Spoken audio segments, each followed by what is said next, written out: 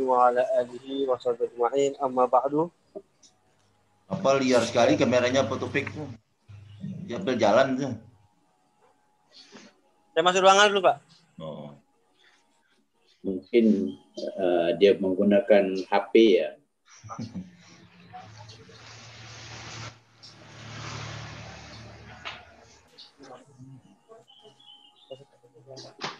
Uh, terima kasih kepada uh, Prof yang sudah apa namanya menyempatkan waktunya hadir di tengah-tengah kita dengan seminar kita yang sangat luar biasa ini.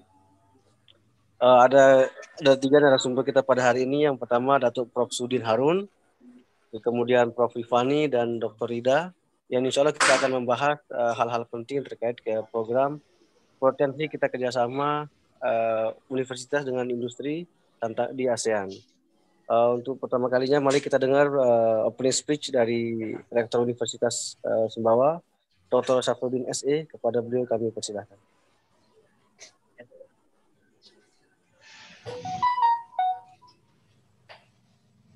Assalamualaikum warahmatullahi wabarakatuh. Yang saya muliakan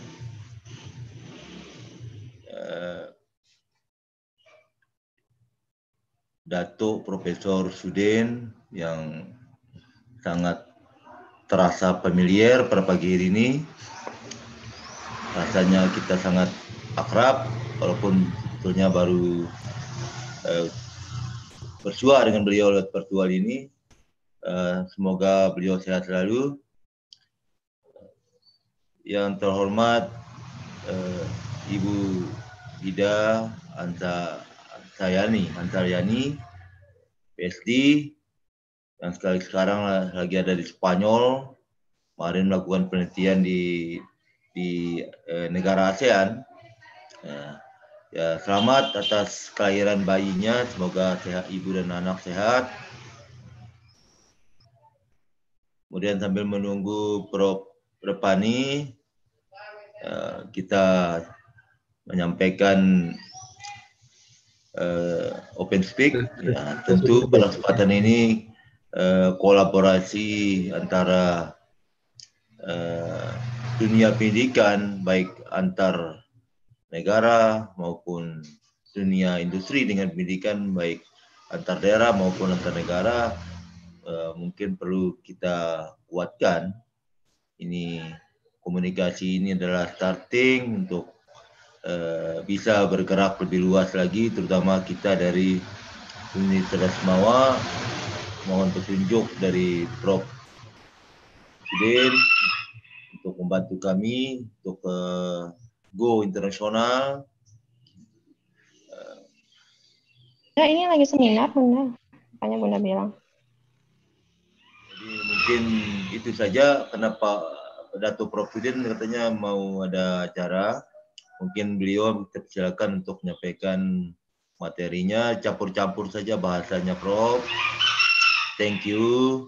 Uh, want to be a speaker uh, in seminar. Uh, thank you. Uh, uh, uh, attending uh, participation participation. Happy attending seminar. Terima kasih untuk semua peserta. Semoga bisa mengikuti dengan uh, baik apa yang disampaikan oleh para pemateri. Thank you very much. Assalamualaikum warahmatullahi wabarakatuh. Waalaikumsalam warahmatullahi wabarakatuh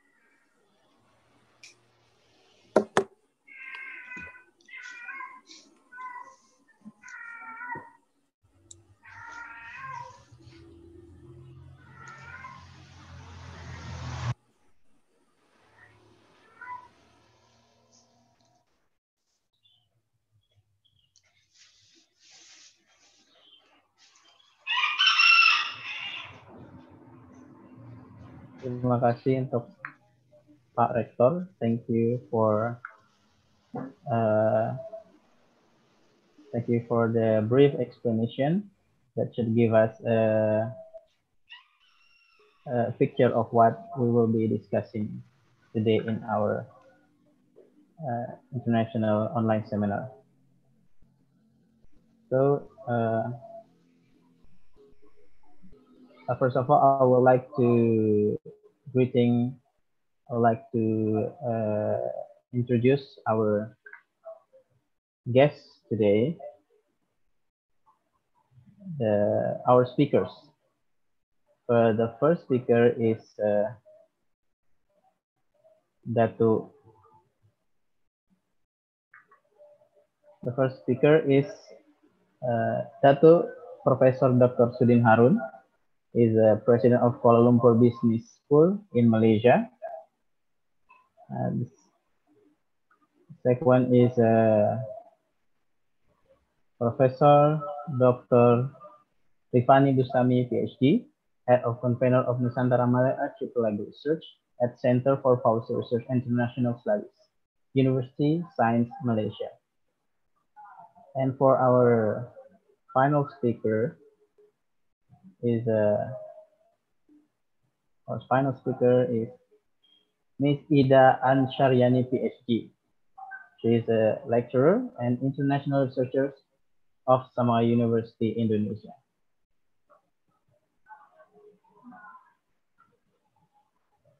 Okay.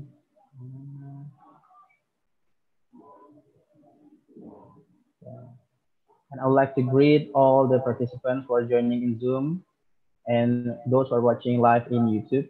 I welcome you all to the very first, hopefully many more will come, many more will follow, international online seminar, the collaboration between educational institution and universities in ASEAN region, opportunities and challenges, held by Institution of Research and Community Services of Sama University, together with Kuala Lumpur Business School, Malaysia, University Science Malaysia, and Yala Education Indonesia we would like to extend our gratitude to everybody who's taking part in making this seminar possible. Okay, without further ado, let's, uh, before uh, we come into the first speaker, I would like to give a, a certain guideline to our participants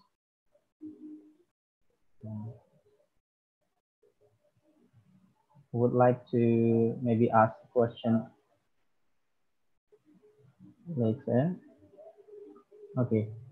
For those, for those want to post their question, you can post it on the live chat in Zoom and also YouTube following this format to the name of the speakers and your question. Please keep your question brief and to the point given the limited time that we have.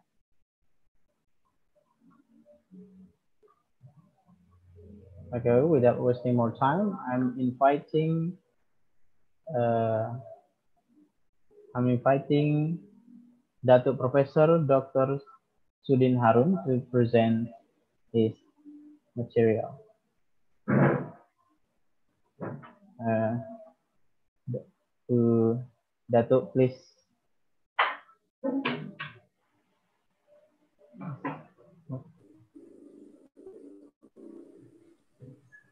Where is the moderator? I don't know. I think uh, Something wrong with Yeah. the. Okay. yes, uh, the camera the camera is off, and also the Okey, uh, uh, terima kasih. Uh, Alhamdulillah Alamin. Assalamualaikum warahmatullahi wabarakatuh. Waalaikumsalam. Uh, pertama saya mengucapkan terima kasih kepada uh, penganjur iaitu Samawa University uh, terutamanya Pak Rektor yang baru saya kenal uh, pagi ini Pak Syaifuddin. Walaupun baru kenal tapi terasa macam dekat di hati. Uh, dan seterusnya uh, narasumber yang lain iaitu sahabat saya daripada USM Profesor Rafani. Uh, dan kemungkinan uh, Profesor Rafani ada apa-apa soalan nanti beliau yang akan jawablah bagi pihak saya sebab saya daripada industri tidak lagi bersama universiti ya uh, saya dah meninggalkan universiti uh, kira-kira uh, 15 tahun yang lalu dan terakhir uh, saya meninggalkan universiti tahun ni iaitu uh, tahun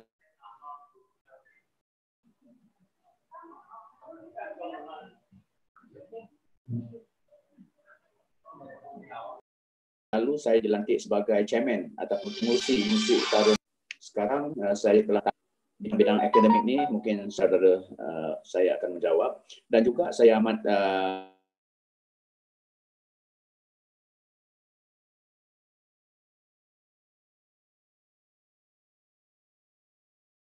uh, bergembira jumpa kenal uh, bertemu uh, nanti. Dan uh, saya berjanji sekiranya dijemput saya akan datang ke uh, Lombok eh. Uh, Samawa. Uh, harapnya Pak uh, Rektor apa yang kita bincang di awal tadi uh, kita realisekanlah Institut uh, Tourism Samawa University ya. Uh, mana tahu. Dan uh, saya juga apa ni uh, akan secara ringkas menjelaskan uh, apa yang ada di fikiran saya not as from academic perspective tetapi daripada people from the industry ya di mana saya uh, pernah menjadi uh, board member CIMB Bank saya juga pernah menjadi board member ataupun komisaris dalam uh, kalau di Indonesia dipanggil komisaris uh, uh, Perkesto dan sekarang saya masih uh, board member uh, Kereta Api Tanah Melayu. So I will be talking from uh, industry perspective. Jadi uh, saya kalau boleh uh, minta uh, tolong sekretaris uh, uploadkan uh, materi saya yang setelah saya kirimkan ke uh, Pak Taufik kalau ada. Ya ada tak materi Pak Taufik yang kirimkan kepada sekretaris tolong upload lah. Uh, kalau tidak saya akan mengulas uh, secara langsung. Iaitu dalam materi saya saya menyebut uh, the world will be a new world. Ya new world order uh, iaitu akan uh, dunia akan berubah dari segi landscape-nya in the future.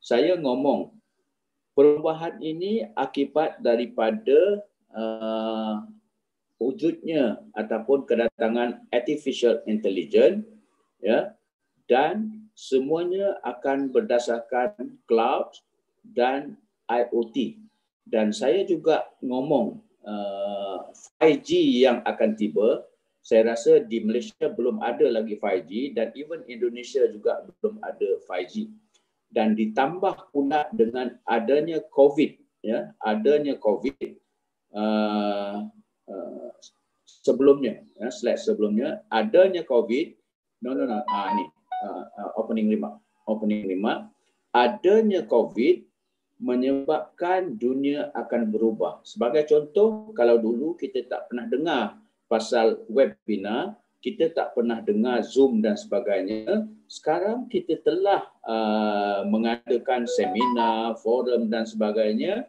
menggunakan uh, webinar. Contohnya di tahun ini, Malaysia akan menjadi hosting. Ya, kita host uh, APEC dan semua pemimpin negara tidak datang ke Malaysia tetapi uh, bertemu melalui cloud ataupun zooming ataupun webinar. Jadi ini akan berlaku. Kalau kita lihat saya akan yang saya tulis tu university will be occupying just a normal bungalow. Apa artinya? Di masa akan datang kita tidak perlu lagi uh, yang besar-besar bangunan yang besar-besar. Ya Contohnya kalau siapa pernah pergi Jakarta tengok Universitas Indonesia is a big complex, huge complex dengan uh, keluasan yang amat besar. Tetapi akibat daripada adanya artificial intelligence di masa akan datang, student tidak akan datang ke kampus. So saya percaya Universiti Indonesia akan bertukar menjadi kompleks besar, kemungkinan kompleks perumahan, kemungkinan kompleks uh, kilang dan sebagainya ini akan berlaku. Kalau kita tengok apa ni asetnya begitu besar. So this will happen. Mungkin bukan zaman saya, mungkin uh, zaman Pak apa ni Mbak Ida atau Ibu Ida jadi rektor di mana-mana universiti ini akan berlaku. Because people will not coming to the university. Kalau uh, rektor dan pihak pengurusan universiti masih beranggapan uh, universitas tidak akan bertukar, student akan masih dengan nak datang ke kampus, it is wrong.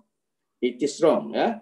Student sekarang, uh, nanti saya akan cerita juga, tidak lagi uh, mahu uh, datang ke universiti-universiti.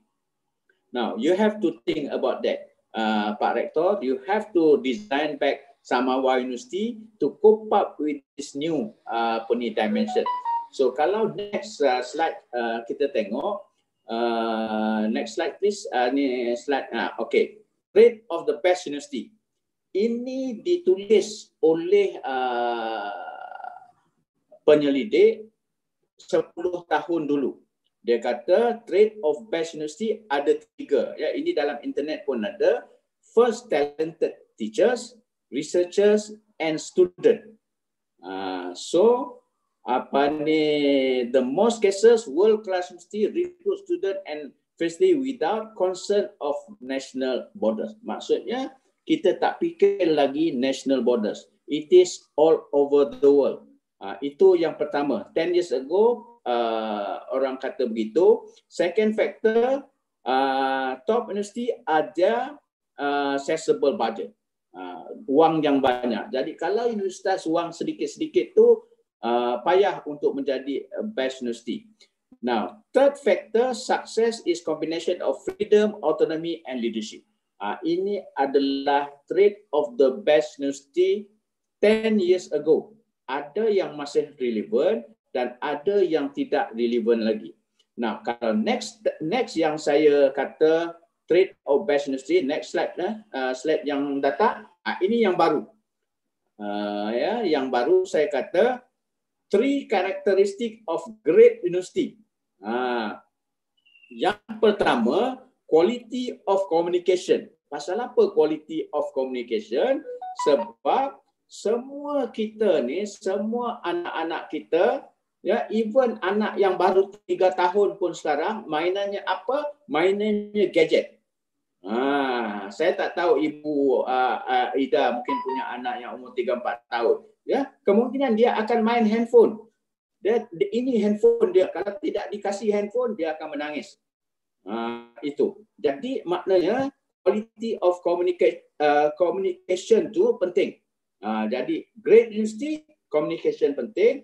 Yang keduanya, provide centralized and personalized uh, digital references. Maksudnya apa? Sekarang kita tidak ada lagi yang menggunakan kertas-kertas begini, tak ada. Semua di dalam handphone. Ya, semua dalam handphone, semua can access apa ni uh, kuliahnya gimana, materinya gimana, semua menggunakan ini. Tidak ada lagi datang apa ni uh, uh, meminta kertas-kertas. Ha, itu apa ni? Itu sebabnya uh, go mobile.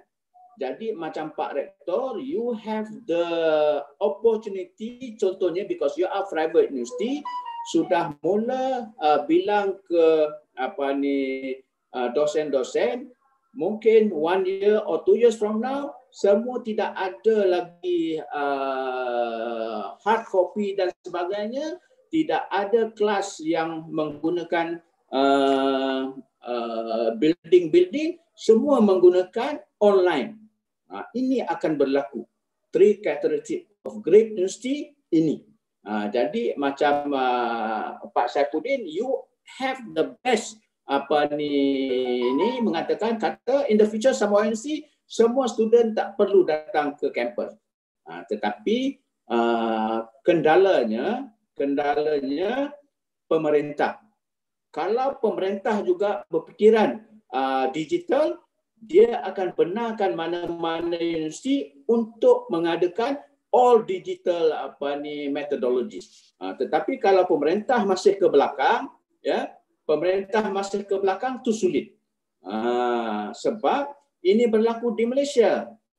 Contohnya begini, apabila di Malaysia apa ni kita untuk mendapatkan uh, kita panggil MQA untuk mendapatkan recognition contohnya ya accreditation pegawai pemerintah akan datang ke universitas dia akan tanya where is your library Uh, I want to see the book collection of book. Kan? Uh, ini semua yang saya kata, ini semua outdated mind. Uh, outdated mindset. Tapi kalau orang macam saya, I'm looking forward. Walaupun saya dah 67 tahun, apa ni saya always belajar the new thing. Ya, yeah? new thing. So ini uh, character of great university now and the future. So next slide, contohnya slide lain saya kata, Uh, okay. Kita cerita tadi collaboration antara universiti dengan industri. Now, industri ada dua. Ya, industri ada dua. Satu private enterprise dan lagi satu public enterprise. Ha, ini di Indonesia pun ada, di Malaysia pun ada. Kalau kita sebut private enterprise, our aim is profit motivation. Ha, tidak ada orang private enterprise kata uh, motif kita adalah for uh, apa ni welfare tidak ada uh, tidak ada kecuali apa yang saya sekarang tengah uh, usahain ya saya more on Islamic private enterprise ya maksudnya apabila kita sebut uh, Islamic private enterprise apa filosofinya uh, adalah profit and moral come together. Ya, profit and moral come together. Itu sebabnya dulu waktu mula-mula perbankan syariah datang ke Indonesia, dia belajar dari Malaysia, ada dua maha iaitu Profesor Sudin dengan Profesor Halim namanya. Ya, Dr. Halim. Jadi kalau Profesor Sudin uh, filosofinya profit and moral come together, moral obligation, ya. Tetapi kalau totally private dia ikut teori barat, teori kapitalis. Teori kapitalis adalah profit maximization. Ha, inilah private enterprise. Tetapi apabila sekarang ni masuk dalam market ekonomi, uh, filosofinya to produce best product and services at the lower possible price. Nah, ini aim of private enterprise. Kita kena tahu sebab apabila kita nak buat kolaborasi dengan industri, this is we must remember. So aim of public enterprise, next slide saya tunjuk. Uh, ini macam uh, kuliah 101, eh, buat ada uh, 101. Uh, kalau kita sebut kita sebagai dosen kuliah 101, this is the basic lah. But sometimes people lupa basic. Uh, uh, next slide please. Uh, uh, ini uh, slide yang seterusnya. Uh, ini aim of public enterprise. Kalau public enterprise, the fundamental objective of state enterprise is to provide good and services to the public at reasonable rate. Ha, ini ha, ini yang selalunya berlaku apa ni kita panggil berentang antara uh, public and private. Ya. Sebabnya apa? Orang yang dilantik oleh pemerintah untuk duduk uh, di public enterprise fikirannya profit maximization juga. Uh, akibatnya apa? Akibatnya dia akan uh, compete dengan apa ni private enterprise. Apa yang private buat, dia nak buat. Uh, ini berlaku di Malaysia, ya, berlaku di Malaysia di mana private people or private uh, institution marah kepada public enterprise sebab apa yang sepatutnya dibuat oleh private dibuat oleh public. Uh, ini yang selalu uh, berentam. Ya. Banyak juga apa ni uh, para dosen buat research tentang perkara ini. Now next slide saya nak tunjuk. Okay, expectation by industry from the university. Uh, ya, ini kalau kita di industri apa yang apa ni kita nak of course yang pertama we want university to become our customer sebab apa sebab universiti kadang-kala dia ada big budget juga. Ya, dia ada dana yang besar. So maknanya kita nak universiti itu menjadi customer kita. So artinya apabila universiti menjadi customer kita, so we will realize our objective dan apa ni goal. Ya, kita boleh dapat untung, kita boleh dapat bisnes dan sebagainya. This is why kebanyakan industri mahu menjadikan universiti sebagai partner dia. Now, yang ketiganya, kita nak universitas juga help us to solve our problem. Uh, kenapa? Sebab kadang-kala dosen-dosen di universiti ini all very good. Yeah? They are very good in helping the industry in solving the problem at the cheaper price. Uh, cheaper price. Dia kata kalau dosen ni cheaper. Kalau guna yang contohnya Price Waterhouse, Ernst and Young, saya bagi tahu because saya dulu uh, service uh, bank apabila kita panggil ENY ataupun Price Waterhouse dia akan minta suatu job tu 5 juta atau 10 juta. Tetapi kalau kita pergi ke universitas buat benda yang sama, kita boleh dapat 500 ribu. Ha, gitu. Ataupun 1 juta. Sebab dosen universitas ni, dia pun dia ingin belajar juga. Jadi win-win situation, murah kita dapat. Cuma kadang-kala fikiran, saya tak tahu di Malaysia ataupun di Indonesia. Tapi di Malaysia saya tahu tahulah. Di Malaysia ni kadang-kala dia always think, oh consultant yang big four tu always give a good solution. Ha, dosen-dosen yang ada di tempatan ah tak bagus.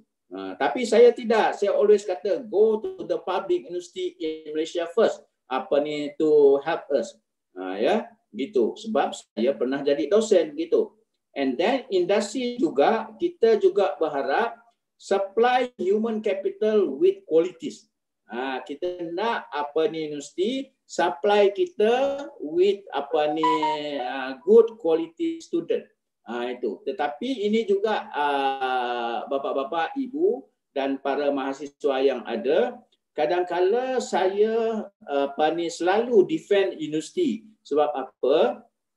Kadang-kala orang yang mentadbir industri itu uh, apabila dia conduct interview dia nak uh, student atau mahasiswa yang datang interview tu kalau bercakap orang bule bercakap orang putih seperti orang bule ha kan uh, faham tak maksud saya tu saya kata tak boleh macam tu dia baru keluar universiti seharusnya dia bercakap pun tidak betul. Bercakap orang Inggeris pun tidak betul. Saya kata kita kena ajar uh, mahasiswa ni. Uh, tapi ini tak mau. Di Malaysia kadang-kadang jadi masalah.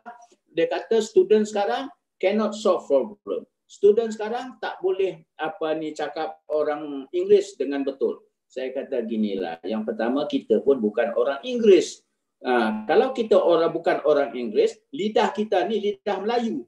Uh, lidah Indonesia kan jadi kita enggak boleh apa ni enggak gampang kalau kita ngomong uh, dalam bahasa Inggeris uh, semua macam saya uh, ibu Ida Pak Rektor kalau saya turun di kota Jakarta ngomong saya seperti orang Indonesia juga uh, dia orang tanya Pak Bapak orang mana uh, kamu tebak saya orang mana oh Bapak mungkin orang Padang mungkin Bapak orang Kalimantan kena ngomongnya kayak orang Indonesia tau Ah, eh, saya pun ngomong ke dia. Saya memang tiap bulan datang ke Jakarta.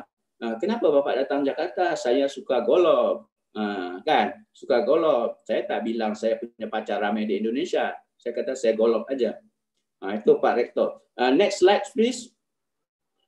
Okay, next slide. This is expectation by university from the industry.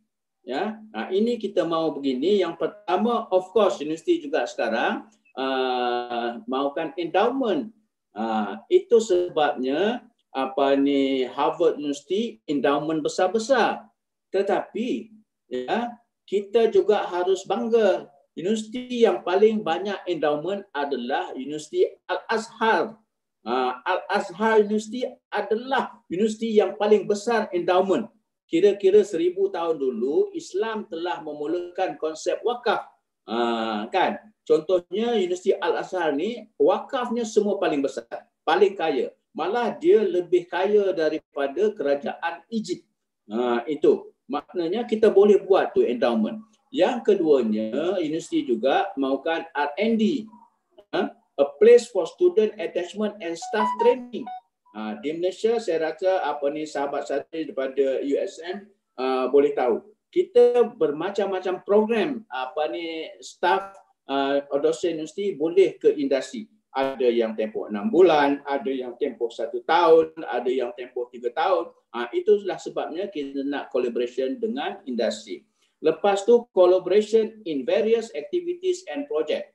Ha, ya banyak juga uh, universiti bersama industri membuat research project. Tetapi kalau di Malaysia dan mungkin juga Indonesia, uh, kerajaan untuk dana R&D-nya masih kecil. Ya, berbanding dengan negara barat, kita masih lagi kecil. Tetapi walau manapun, uh, kita every year uh, jumlahnya semakin meningkat.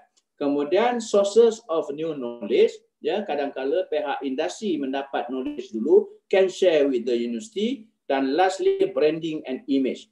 Jadi mana-mana industri yang banyak kolaborasi dengan industri, image dia agak tinggi. Itu sebabnya kalau apa ni uh, yang menentukan uh, QS ranking ya Pak Rektor ya, uh, QS ranking in the world tu ataupun time higher education, biasanya dia akan lihat uh, berapa banyak setiap industri itu ada collaboration dengan industri dan sebagainya.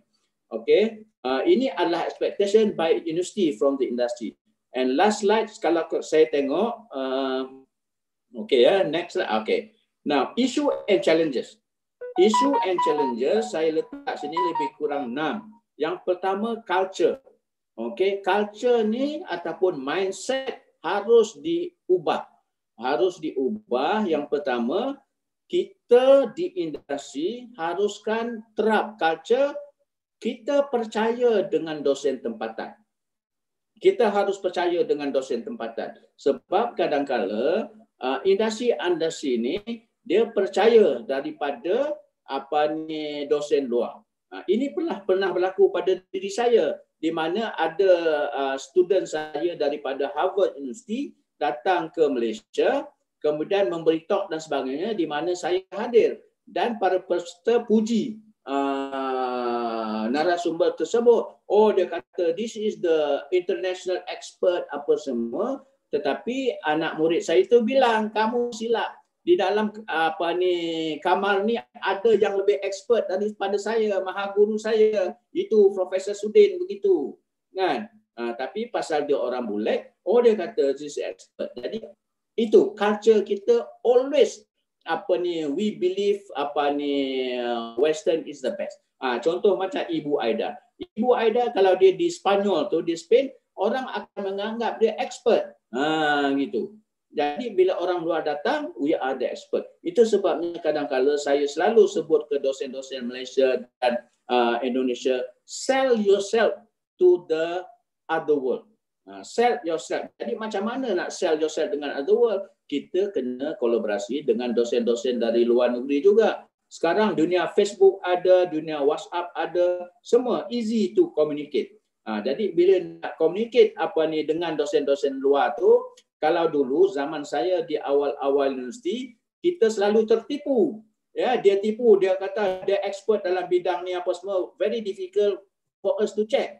Ha, jadi sekarang tak boleh lagi. Kita boleh check dalam Google Scholar, kita boleh cek dalam Scopus dan kita juga boleh cek di dalam uh, macam-macam apakah dia ni betul-betul ni contohnya nama saya apa ni teman-teman di Indonesia selalu cakap oh Pak Datuk nama Pak Datuk dalam Google Scholar tu ada dalam ni banyak nama ada katanya. Saya kata memanglah tapi itu saya 20 tahun dulu. Kalau sampai sekarang ni tak cukup space dalam Google atau dalam Facebook tu uh, tulisan saya. Saya kata ini sebab saya 20 tahun dah tak terlibat itu. Now lepas tu priority juga ya ini isu. Sebab macam saya kata some industry priority dia untuk profit maximization. Jadi untuk kolaborasi dengan sini-sini dia apa ni agak tak mau. Dan soalnya mismatch of the objective. Lepas tu incentive of collaboration, incentive tu tak ada. And then faktor confidentiality juga dan social recognition. Ha, ini contohnya sepatutnya saya selalu ngomong dengan apa ni eh, pemerintah di Malaysia harusnya tiap-tiap tahun kita kena buat uh, apa ni uh, award uh, uh, industry industry collaboration the best uh, industry dan sebagainya. Uh, ini kita kena buat. And last slide saya nak tunjuk sebelum saya undur diri uh, the way forward. Yang pertama intervention by the government. Uh, maksudnya regulasi itu kena ada. Uh, jadi sekarang ni ke, uh, di Indonesia mungkin menteri pendidikannya daripada industri he should know. He should know what to do.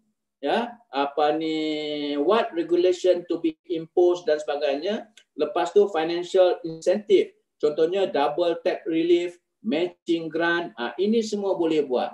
Uh, government boleh buat.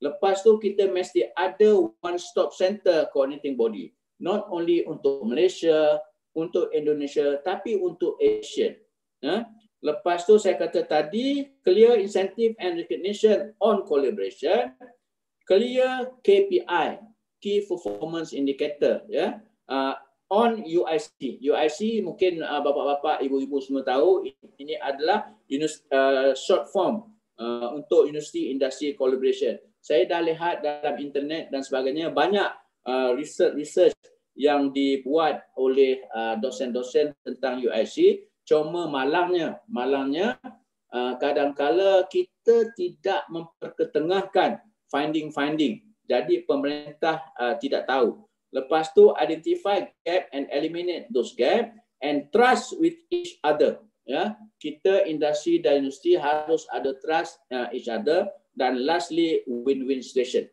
Saya rasa itu cukup uh, my thought ya, my thought uh, untuk perkara ini uh, mungkin uh, nanti kita boleh kembangkan dan uh, saya uh, mengalu-alukan uh, kalau dosen-dosen uh, Samawa Universitas Pak Rektor uh, ingin membuat uh, riset berkaitan dengan perkara sebegini tentang entrepreneurship, tentang tourism, apa ni can contact me. So dalam next slide tu, apa ni next slide tu saya tulis apa ni uh, slide seterusnya uh, ada nombor HP saya. Kemudian saya tulis juga Facebook saya. Uh, next slide. Slide seterusnya. Ha, itu ada nombor HP saya, ada email saya, ada Facebook saya. Ya, apa ni boleh bincang uh, anytime. Jadi uh, saya rasa uh, itu saja dari saya. Uh, kepada para peserta saya minta maaf saya tidak dapat uh, bersama-sama untuk seterusnya sebab saya terpaksa menunggu uh, mantan uh, ketua menteri ataupun menteri besar uh, uh, uh, nak bertemu dengan beliau lah. Jadi Pak Rektor uh, sekali lagi saya ucap terima kasih kerana sudi mengundang saya. Uh, Ibu Ida apa ni moga kita bertemu di lain kali uh, uh, di Facebook atau sebagainya. Dan ibu-ibu yang lain saya mohon maaf. Jadi kalau apa-apa ada persoalan saya kata Profesor Rafani daripada USM Prof. Uh, nanti Prof tolong jawab bagi pihak saya. Uh, moga kita boleh uh, ketemu lagi wabillahi taufiq hidayah assalamualaikum warahmatullahi wabarakatuh terima kasih uh, bapa-bapa dan ibu-ibu Uh, thank you. Thank you very much, uh, Professor. Dato Professor Dr. Sudin Harun for sharing his thoughts on this topic. And thank you for sparing his valuable time to uh, share his knowledge in this uh, seminar.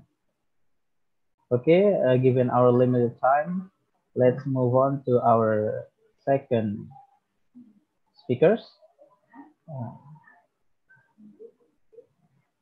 second speakers, Professor Dr. Rivani Bustami, PhD, Head Convener of Nusantara Malay Archipelago Research at Center for Policy Research and International Studies, University Science Malaysia. Please. Thank you. Assalamualaikum warahmatullahi selamat pagi atau selamat siang ya. Sekarang udah siang atau masih pagi ini saya belum pasti. Uh, terima kasih atas undangannya ke apa namanya online seminar ini. Uh, ini pertama kali bertemu sama teman-teman di Universitas Samawa. Malahan kemarin saya sempat eh, ngobrol-ngobrol uh, sama anak-anak NTB yang ada di USM sini. Uh, sekitar 18 orang mereka di sini. Hmm, yang menariknya, uh, saya bilang saya akan ada webinar di, di Universitas uh, Samawa itu. Ada yang belum pasti mana Samawa itu ya. Ada nggak itu? Sumbawa ada Samawa belum pasti. Jadi mereka juga ngecek gitu ngecek. Oh ternyata ada gitu kan saya, jadi saya bagi saya indahnya Nusantara itu indahnya Indonesia itu karena 18 pulau itu yang belum banyak kan. Dengan 300 juta hampir 300 juta orang itu luar biasa Indonesia itu. Dan dan integrasi sosial Indonesia itu uh, sesuatu uh, sukses saya ingat uh, dan uh, maaf Mas moderator ini kita bahasanya pakai bahasa pakai bahasa kita aja ya ataupun campur-campur ya, Inggris. Campur-campur tidak apa-apa, Pak. Ada orang ya. Ya, kita langsung aja ya. Oke. Okay. So um, balik ke topiknya. Topik uh, hari ini ya saya share screen. Let me see screen saya mana. Uh, Oke, okay, uh, um, baik. Uh, pertamanya saya ini sudah lama enggak saya juga seperti uh, Dato Profesor Sudin uh, rasanya sering ke Indonesia tapi maunya lebih sering ke Indonesia itu kan. Uh, jadi uh, karena um, istilahnya di Indonesia itu apa namanya ini uh, tanah air yang bisa kita jadi apa ya apa ya apa ya nge, nge kangen nge, nge, nge, bikin kangen itu ya kan nah, saya bersama mahasiswa saya di sini dari Universitas Malang Muhammadiyah Malang beliau juga kan youtuber jadi saya ada di sini kalau ada masalah dia membantu saya mahasiswa yang ada di sini ini um, saya langsung ke presentasi saya uh, mana itunya. Oke. Okay. Um, saya di Universitas Sains Malaysia ini ini pusat studi yang namanya pusat SEMPRI Center for Policy Research and International Studies atau kalau kita terjemahkan bahasa Indonesia-nya pusat studi penelitian kebijakan dan juga kajian internasional ya. Uh, ini juga uh, pusat studi uh, social science yang tertua yang pertama di Malaysia juga.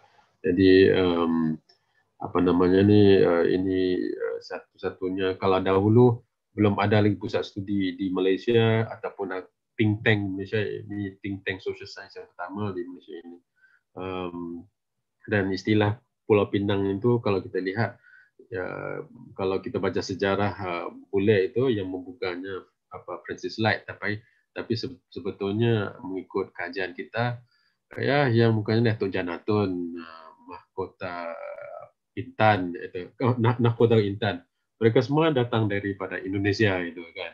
Tapi suatu itu belum ada Indonesia Malaysia lagi. Itu ada Sumatera Jawa Sulawesi uh, Sinanjung Tanah Melayu dan sebagainya. Tapi belum ada lagi yang lain-lainnya jadi um, saya Uh, memberi satu judul uh, dalam presentasi ini uh, enam paradigma kuasa strategi kolaborasi universitas industri six paradigms of power strategies for university industry collaboration jadi um, saya bicarakan tentang apa namanya ni uh, kuasa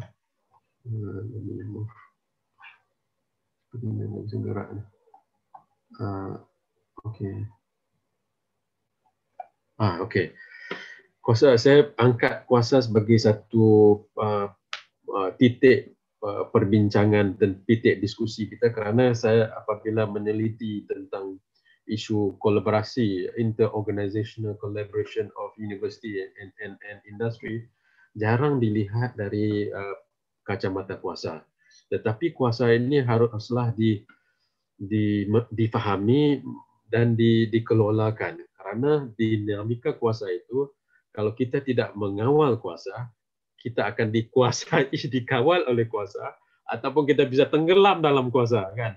Kalau dahulunya kita ada agenda ini, aspirasi ini, wawasan ini, kalau kita masuk diberi jabatan itu tiba-tiba kita because of the power we get uh, uh, we get uh, immersed in the power, we get uh, drowned by the power, Ah, kemudian kita tenggelam dengan khayalan dengan keasikan kuasa itu bisa tenggelam Kalaulah kita tidak memahami puasa juga, kita juga bisa dikawal oleh orang lain. Ya, seperti mana Nusantara berapa abad itu dikawal oleh penjajah kan, kemudian mereka memecahkan kita, kemudian akhirnya kita terpecah-pecah ya gitu kan.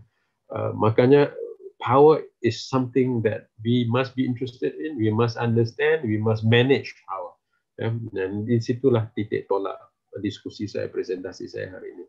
Um, dan saya uh, presentasikan enam paradigma kuasa. Ya, paradigma pertama ialah um, paradigma kompas etika, atau paradigm of ethical compass.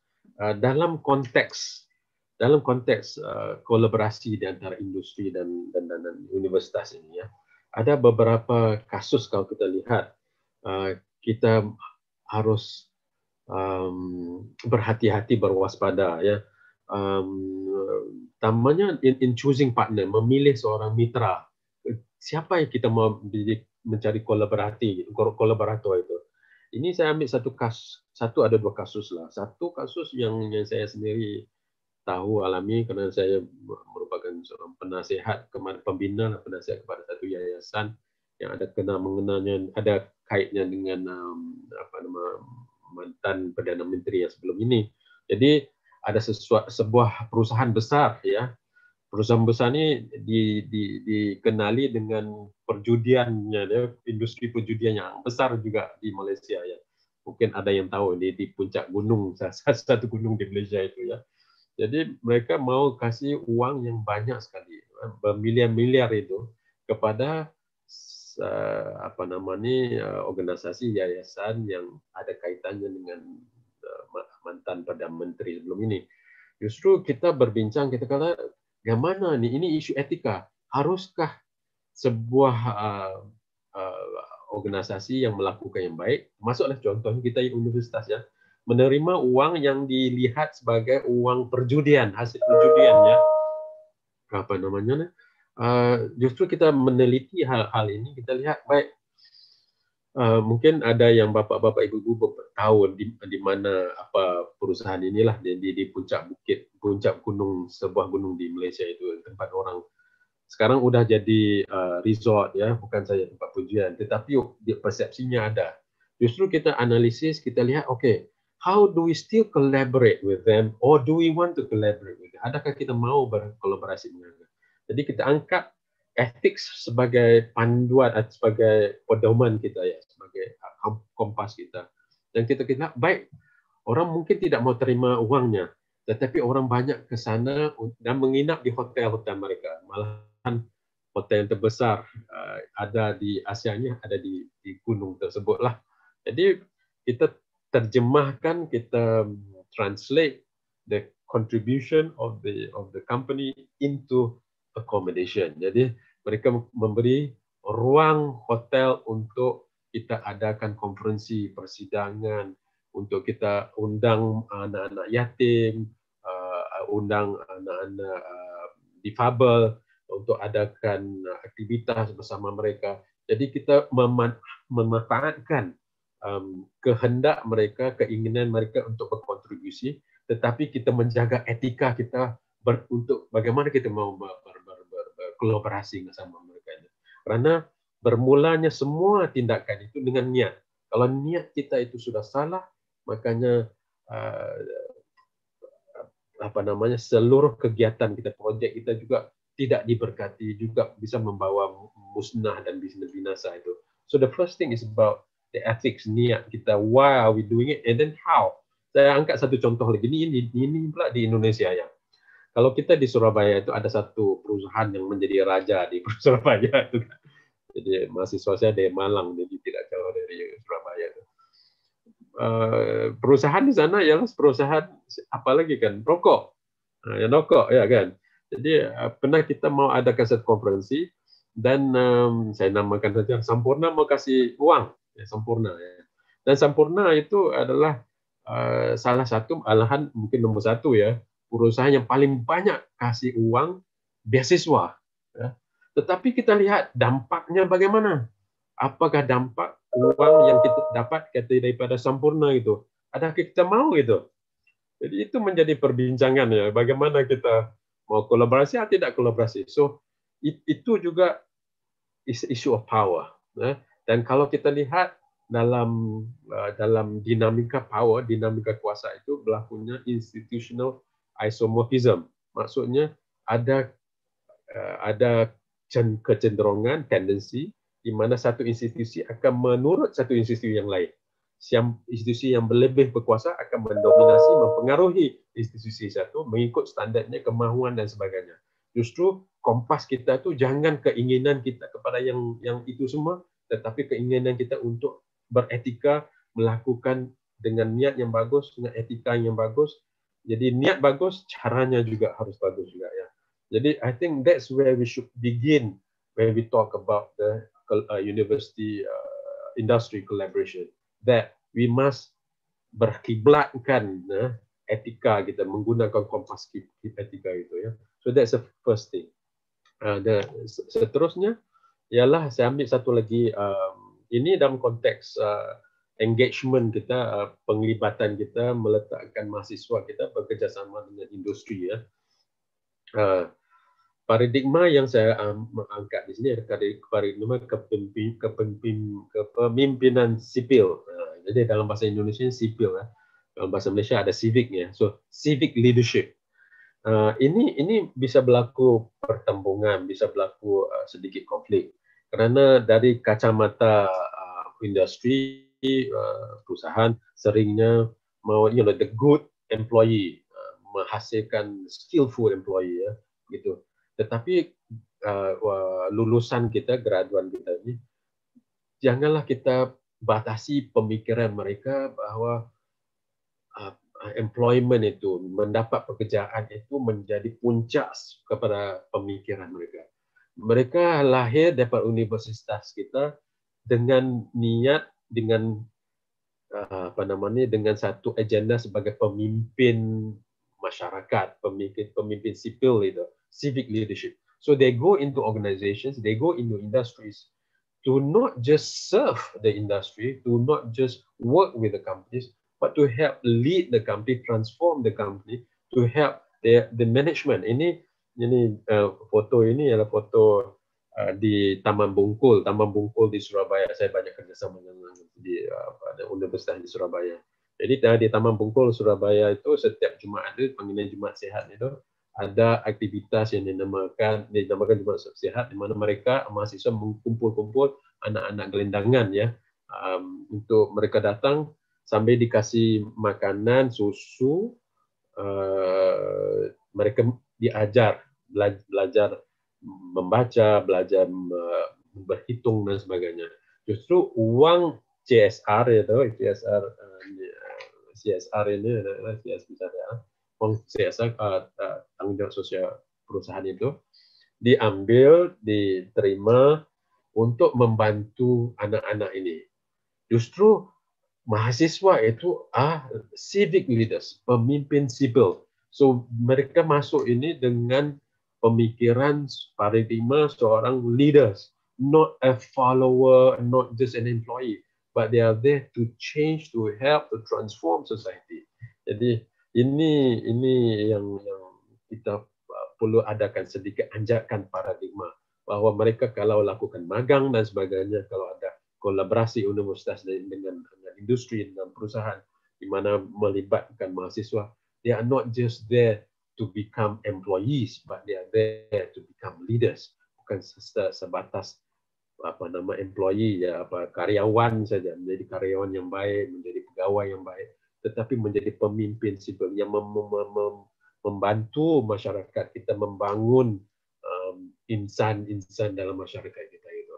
I, I think itu adalah satu lagi apa nama paradigma yang kita mau pupuk di uh, di pemikiran uh, dan, dan dan hati uh, mahasiswa kita. Jadi they are not just graduates to become rich. Aku mau kaya, mau jadi kaya, aku mau jadi mau uang, uang, want make a lot of money. But mau jadi you know, first billionaire, first billionaire dan sebagainya. Itu semua bagus. Tidak kita menentang ya Abdul Rahman bin Auf itu orang sahabat yang sangat kaya. Sayyidina Osman itu ada sahabat yang sangat kaya semua. Tapi sahabat-sahabat itu luar biasa kontribusinya kepada masyarakat kan. Ya itu So that is because they're all civic leaders. They're all leaders to help the society, not just help the company become rich. So it is so itu paradigma yang kedua. Uh, apa namanya? Yang ketiga. Paradigma ketiga is paradigma sinergi terpimpin. Ya. So we talk about synergy quite a bit. Paradigm of guided synergy. Paradigma sinergi ini, kalau kita lihat foto yang saya ambil sedikit ini, ini Uh, burung-burung terbang di di angkasa itu. Uh, jadi burung-burung terbang sinerginya bukan apa istilahnya berantakan, terbangnya tidak ada haluan. Mereka menuju ke satu arah dan mereka dipimpin dan pimpinannya bisa berganti-ganti, tetapi mereka terpimpin. Maksudnya bagaimana nih? Ini dalam konteks university uh, lab collaboration ya saya bagi satu contoh. Uh, seringnya kita baik pada isu uh, apa nama ni uh, lulusan kita ataupun mahasiswa kita ya. Seringnya ataupun dosen juga bisa. Seringnya kita keluar ke sana, ya, keluar di lapangan uh, perusahaan, ya, lapangan ekonomi, lapangan industri. Ya. Uh, satu, uh, by the way, saya harus uh, ini saya dengan dengan dengan uh, syukur ya saya bilang bahwa Universitas Sains Malaysia itu the most entrepreneurial university in Malaysia yang tahun lalu ya. Uh, number one segi entrepreneurship. Entrepreneurship sama bahasanya sama ya. Number one entrepreneur university in Malaysia. Jadi, jadi saya bagi satu contoh lah satu yang kami usahakan. Sewaktu itu saya masa lagi uh, wakil dekan di di FISIP itu. Uh, sekarang saya sudah full time sebagai researcher di pusat studi ini jadi apa yang kita lakukan is we bring the industry, we bring the company inside the university. Kita masukkan mereka, kita adakan magang industri di dalam universitas. Jadi kita saya saya apa ni uh, fokus saya kepada CSR ini.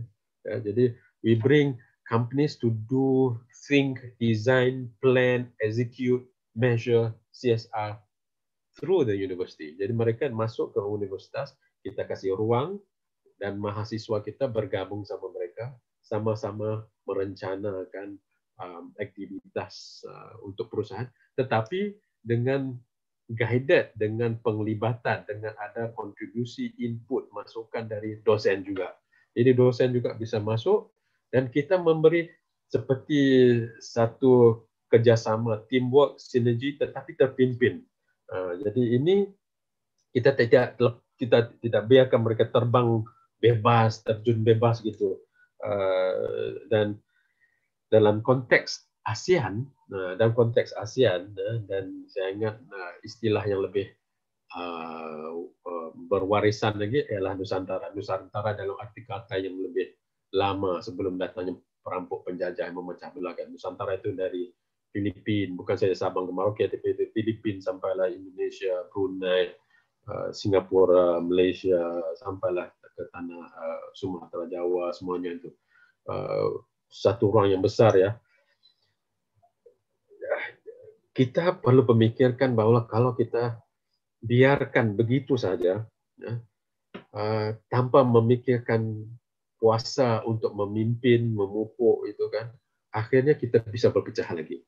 Jadi kalau mahasiswa kita kalau tidak dipimpin dalam konteks yang yang yang yang uh, apa diatur gitu bisa terbangnya terlalu bebas nggak tahu ke mana-mana mereka pulangnya memikirkan uh, paradigma mereka itu terlalu pengaruh oleh paradigma material capitalism ya. Jadi kalau kita lihat apa yang Datuk Prof. Sudin bilang tadi uh, Prof. Sudin mengangkat isu uh, apa namanya Islamic uh, business enterprise kan.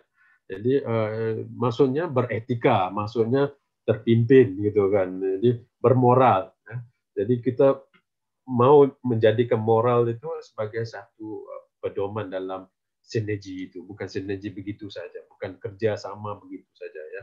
Nah, yang keempat ini menyentuh tentang strategi yang kita namakan as rapid prototyping ya. Ini satu terminologi satu istilah yang dipakai diguna dalam industri. Rapid prototyping ialah di mana kita daripada titik uh, idea, perencanaan, hingga eksekusi, hingga menghasilkan buah kerjanya kan hasil kerjanya itu cepat sekali. Itu prototipenya from from from the idea to the product ya. From the idea that is a prototype. Hasil pertama itu. Jadi yang kita angkat satu paradigma kerjasama uh, Indonesia Malaysia lah. Kerjasama apa ni industri industri dan dan dan dan, dan, dan, dan uh, universitas itu uh, think about how we can plan and execute and have results in a short while. MIT, MIT is Massachusetts Institute of Technology. Itu seperti ITB di Indonesia lah. Uh, mereka ada program where it's called rapid uh, prototyping, one week rapid prototyping. Jadi produk contohnya apa nama ni HP yang canggih-canggih kayak gini kan, apa ni atau kayak gini juga HP canggih-canggih gini. Jadi di di, di plannya ya, kemudian di hasilnya dalam satu minggu saja. Um, itu kalau produk tetapi juga saya dan kita saya ingin angkatkan bahwa kita bisa merencanakan projek-projek dengan rapid prototyping juga. Kenapa kita mau lakukan ini? Karena kita mau lihat uh, apa namanya pola pemikiran, uh, apa namanya apa namanya jalan kerjanya, gerak kerjanya bagaimana, dan langsung kita dapat hasil dan kita bisa improve. Jadi kita ada 1.1, 1.2, 2.0, 3.0, projek apa juga ya kalau kita buat projek lomba contohnya, kita bisa juga begitu juga. Kita buatnya dalam satu minggu 10 hari lah langsung kita dapat hasilnya kita pikir bagaimana kita mau maju ke depan lagi. Dari kita tunggu satu bulan dua bulan tiga bulan we think of the rapid prototyping sebagai satu jenis kolaborasi yang lebih dinamik lebih cepat dan lebih um, apa, ber, ber, berdampak ya karena kita bisa lihat hasilnya. Satu lagi sebab, uh, satu dia rasionalitas di sebalik idea rapid prototyping kerana kita mau kerjasama dengan stakeholders-stakeholders yang berbeza. Jadi satu caranya sebelum kita masuk ke apa namanya kerjasama yang besar itu kita start with small agreements, small projects and see what those projects can produce And then we see, well, is this a good partner or is it not a good partner? Kita lihat ini bagus enggak uh, kolaborasi sama perusahaan ini atau tidak bagus. Kalau kita tunggu dua bulan, tiga bulan agak atau setahun agak mungkin lama. Tetapi kalau kita pendekkan masanya, temponya mungkin kita bisa analisis analisa lebih cepat dan kita bisa baiki lebih cepat lagi. Ya. Yang kelima, semua ada enam ya. Paradigma panggilan atasan. Saya enggak kurang pasti kalau ini cocok enggak dengan bahasa Indonesia itu enggak paradigm of higher calling ya. Uh, paradigm of higher calling gini. Kita ada pemikir uh, kita ada penggerak di di perusahaan. Kita ada pemikir ya, penggerak yang uh, you know, the, the thoughtful di orang bijak bijaksana ni. Di universitas di menara gading adakah kita memikirkan hal-hal yang kecil saja atau adakah sesuatu yang yang begitu mendesak, sesuatu yang begitu krisis, uh, gawat yang membutuhkan bantuan kerjasama kita. Ya. Dan ini pernah disuarakan oleh uh, Bill Gates sendiri. He said the best minds in businesses should come up and solve world problems. Should, the best minds in businesses should come up and solve society's greatest problem. So we need the greatest minds to solve the greatest human problems. Right? Justru uh, Bill Gates sekarang sudah jadi filantropis ya, jadi penderma mencari solusi kepada masalah um, uh, penyakit-penyakit, solusi pada kemiskinan dan sebagainya.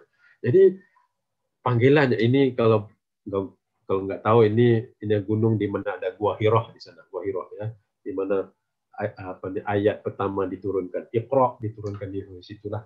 Jadi ini panggilan atasan kepada Nabi Muhammad SAW gitu ya. So we need to understand what our higher calling is, what the university's higher calling is, what the lecturer's higher calling is, and connect that higher calling with the industry, connect that higher calling with the with the with with with, with companies.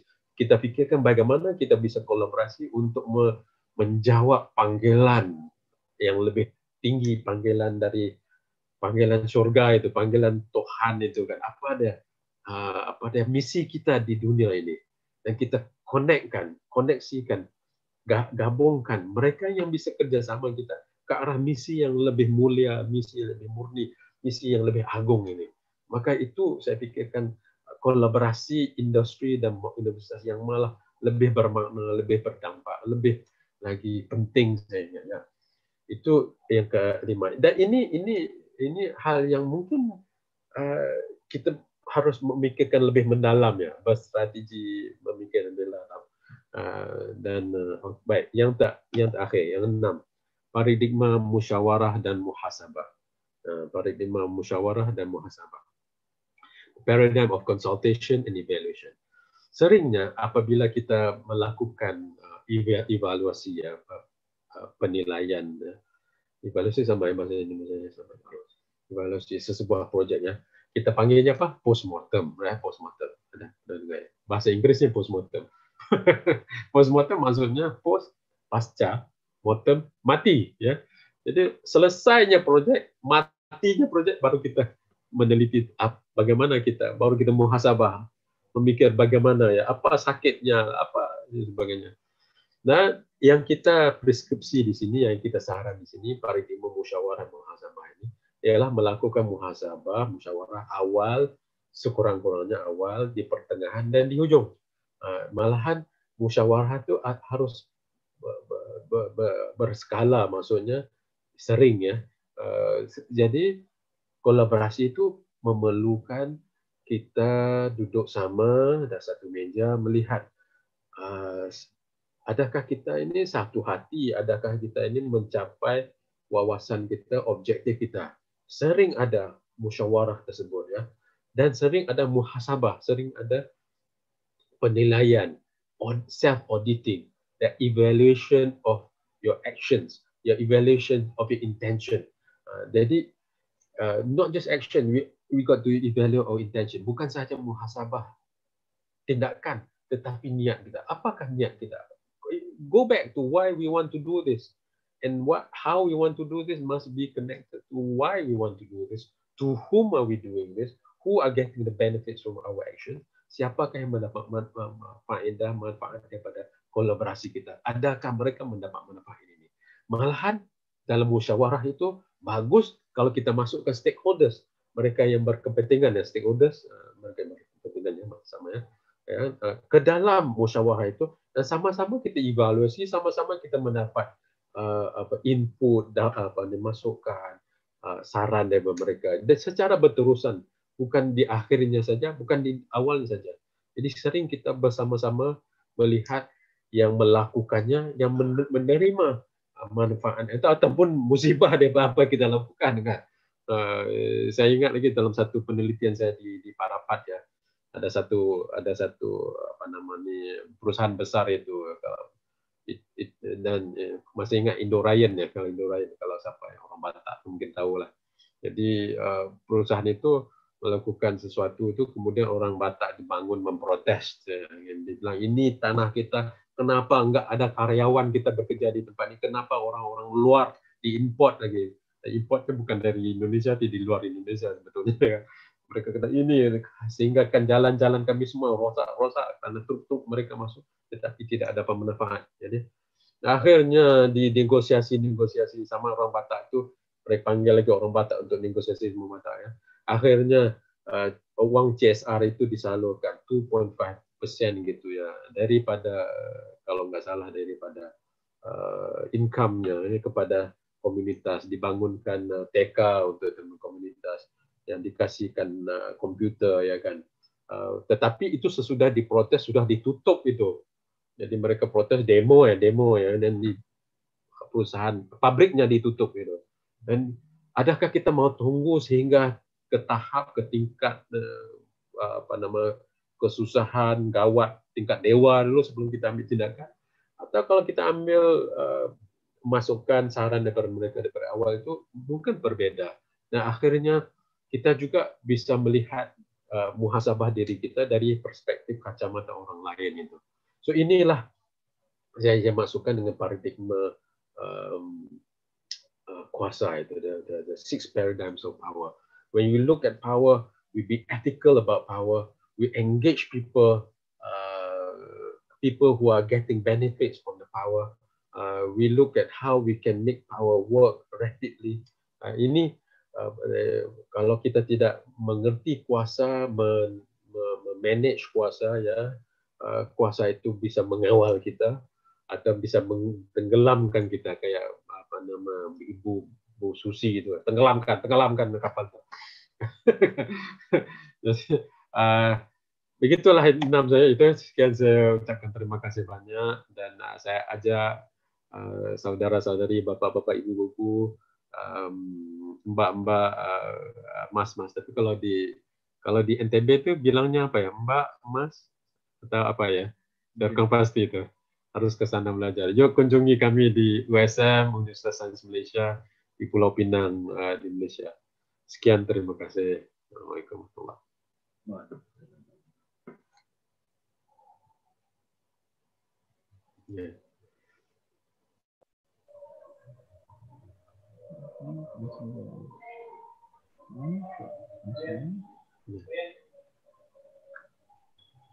Thank you very much, Professor Dokter. Yes, very enlightened, very enlightening uh, material. Thank, Thank you. you. Yes, uh, I would like to remind the participant who wants to post their question to follow the format that we have already given. Uh, next, well, let's move on to the final and last speakers. Oh, yeah. Yeah. Oh, Miss Ida Ansharyani, PhD. Yeah, she's lecturer, international researcher of Sama University, Indonesia. She is currently in Spain right now. So, uh, Miss Ida, please.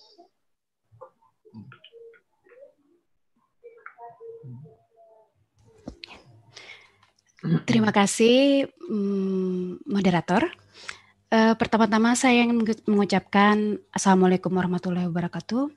Selamat pagi semua, Bapak Profesor Revani, Pak Rektor, dan peserta online seminar. Uh, jadi saya ingin share sedikit ketika Pak Rektor uh, mengajak saya untuk menjadi pembicara pada kesempatan kali ini saya tuh agak agak nervous sedikit. Pertama karena saya melihat bahwa di sini topiknya adalah tentang uh, riset dan dan industri, uh, akademia dan industri.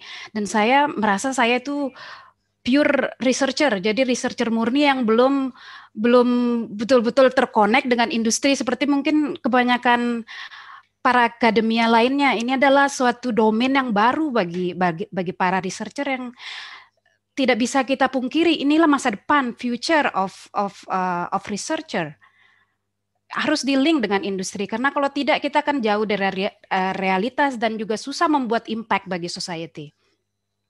Jadi saya berpikir, aduh saya ini mau ngomong tentang industri, saya saya belum punya riset yang terkait dengan industri dan saya juga bukan orang industri.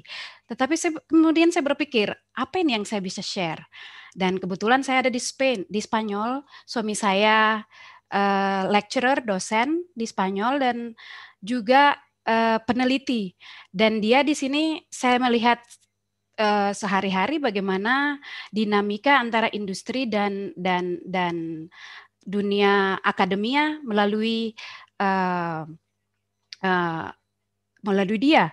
Jadi kemudian saya berpikir oh mungkin saya bisa share apa yang saya apa yang saya lihat dan apa yang saya uh, kebetulan saya ada di di Spanyol mungkin tidak semua orang bisa bisa berada di konteks European Union how they make a collaboration among academia and uh, researchers. Baiklah, sebelumnya saya saya mungkin ingin memberi uh, penjelasan tentang latar belakang saya. Saya lahir di Sumbawa, kemudian saya melanjutkan uh, PhD di Amerika dari Fulbright uh, Scholarship dan dari situ saya membuat kolaborasi dengan uh, pembimbing saya untuk mendapatkan dana dari National Science Foundation untuk melakukan penelitian di Indonesia tentang uh, jasa lingkungan. Um, ya, uh, saya izin Pak Moderator untuk share screen? Ya, sudah bisa. Silakan. Ya.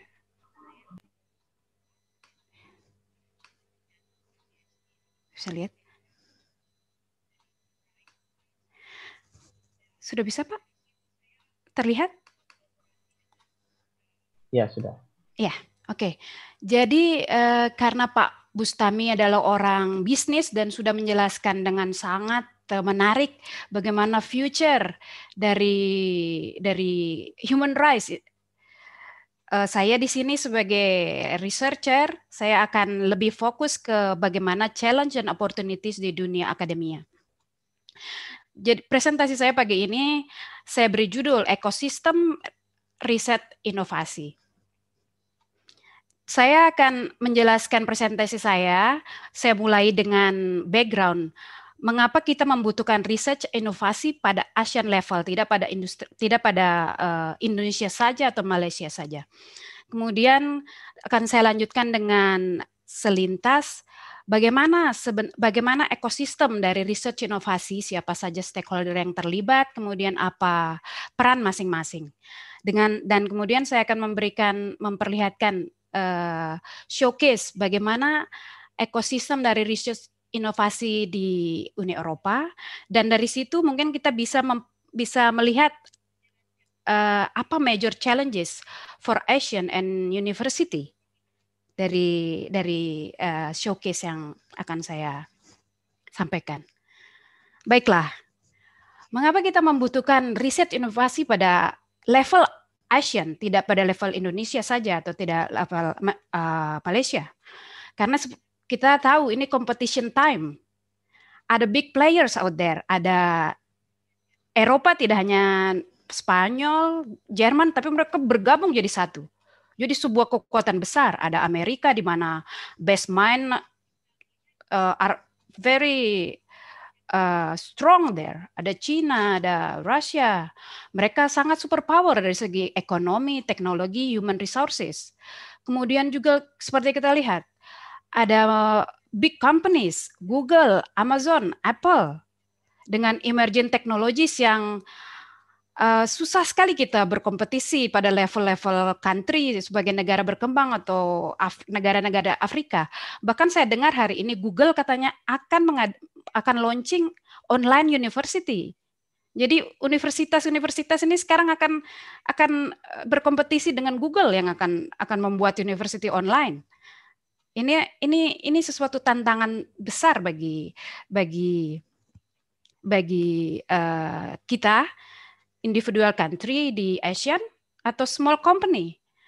Dan juga dunia yang sekarang ini adalah dunia yang ketika industri uh, kita bicara industri maka produk yang dihasilkan tidak hanya sekedar bagus tetapi suatu ya, sesuatu yang disruptif jadi tidak hanya sekedar misalnya memperbaiki uh, uh, casing handphone menjadi sesuatu yang lebih cantik, tidak. Ini sesuatu yang kita butuh sekarang arahnya itu eh, produk-produk yang bisa mengubah kehidupan manusia seperti misalnya zaman 10 tahun yang lalu mungkin wifi belum ada ya kita lihat di mana-mana seperti Pak uh, Profesor Bus, uh, Sudin bilang sekarang zaman 5G ini mungkin akan game changer, akan mengubah kehidupan secara secara mendasar.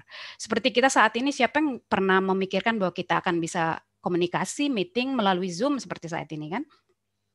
Jadi ini suatu kebutuhan yang mendasar dan kita harus uh, uh, jujur pada diri sendiri pada level jika kita uh, kompetisinya itu melawan uh, big power, big companies, apakah kita bisa bisa menang? Kayaknya susah gitu. Sehingga yang perlu dilakukan adalah harus itu sudah satu keharusan untuk build union dan kita punya platformnya di ASEAN. Yang kemudian nanti selanjutnya dalam dalam presentasi saya saya saya juga ingin melihat apakah ASEAN ini sebagai sebagai sebagai sesuatu union sudah memberikan platform yang cukup kuat terhadap research dan inovasi kita akan melihat kemudian. Dan harus enforce collaboration, kerjasama antara uh, peneliti, tidak hanya peneliti di Indonesia antar university Indonesia yang saya rasa juga bahkan di level country di level individual country kita kayaknya juga kurang bekerja sama dengan dengan uh, peneliti-peneliti lain dari universitas lain. Ini uh, dibutuhkan eh, kolaborasi tidak hanya antar negara antar uh, universitas dalam satu negara tetapi juga dari dari berbagai negara. Dan harus company atau perusahaan harus masuk di dalam uh, skema dari riset yang dilakukan oleh researcher. Small companies juga perlu membuat koalisi jika ingin berkompetisi dengan dengan perusahaan-perusahaan besar.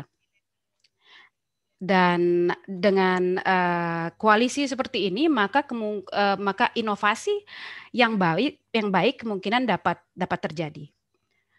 Ini pada slide yang berikut ini saya ingin memperlihatkan stakeholders yang sangat penting agar terjadi inovasi. Di sini saya uh, di sini ada empat pilar. Sebenarnya ada beberapa ada beberapa yang lain, tapi saya fokus kepada empat yang yang paling utama yaitu pemerintah, government, universitas, industri dan society. Jadi mereka semua sebenarnya saling terkait satu sama lain untuk uh, inovasi terjadi. Pemerintah, apalagi misalnya kita berbicara skala ASEAN, mereka ingin menjadi negara yang powerful, secara ekonomi kuat agar memberikan kesejahteraan kepada masyarakatnya. Dan society atau masyarakat, dia ing, mereka ingin uh, memiliki kehidupan yang yang lebih baik, better quality of life dari segi kesehatan, lingkungan, ekonomi, dan industri. Mereka butuh profit. Mereka create value. Jadi misalnya uh, mereka buat produk tertentu dari hal-hal yang kita tidak tahu, misalnya uh, chip atau apa mereka buat jadi handphone atau eh, produk-produk uh, tertentu. Dan mereka ingin increase productivity. Tapi dari mana ide-ide dari produk ini terjadi? Itu sebenarnya di sini peran universitas. Di situ ada banyak uh, uh, great minds atau ide-ide dari dari peneliti-peneliti atau dari students yang kemudian akan sangat sangat bagus untuk industri. Tetapi permasalahannya saat ini adalah universitas uh, belum belum masih terlihat ada gap antara universitas, industri, dan society. Yaitu pertama, uh, secara umum riset-riset yang dilakukan, dilakukan universitas itu masih pure research dan belum memberikan impact yang terlalu banyak bagi society. Dengan dan kemudian yang kedua, inovasi-inovasi yang dihasilkan di universitas itu belum belum menjangkau society karena harus masuk ke jalur industri terlebih dahulu dalam bentuk produk ya. Kemu secara lebih jelasnya lagi kita akan melihat uh, bagaimana secara lebih detail uh, ekosistem dari riset dan inovasi ini.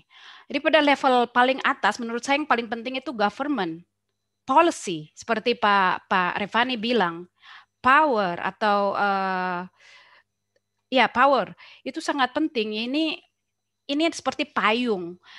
Uh, susah bagi universitas-universitas untuk melakukan melakukan riset atau membentuk koalisi dengan dengan dengan industri tanpa tanpa ada payung yang besar. Karena seperti kita lihat industri, industri uh, Universitas Indonesia taruhlah UNSA.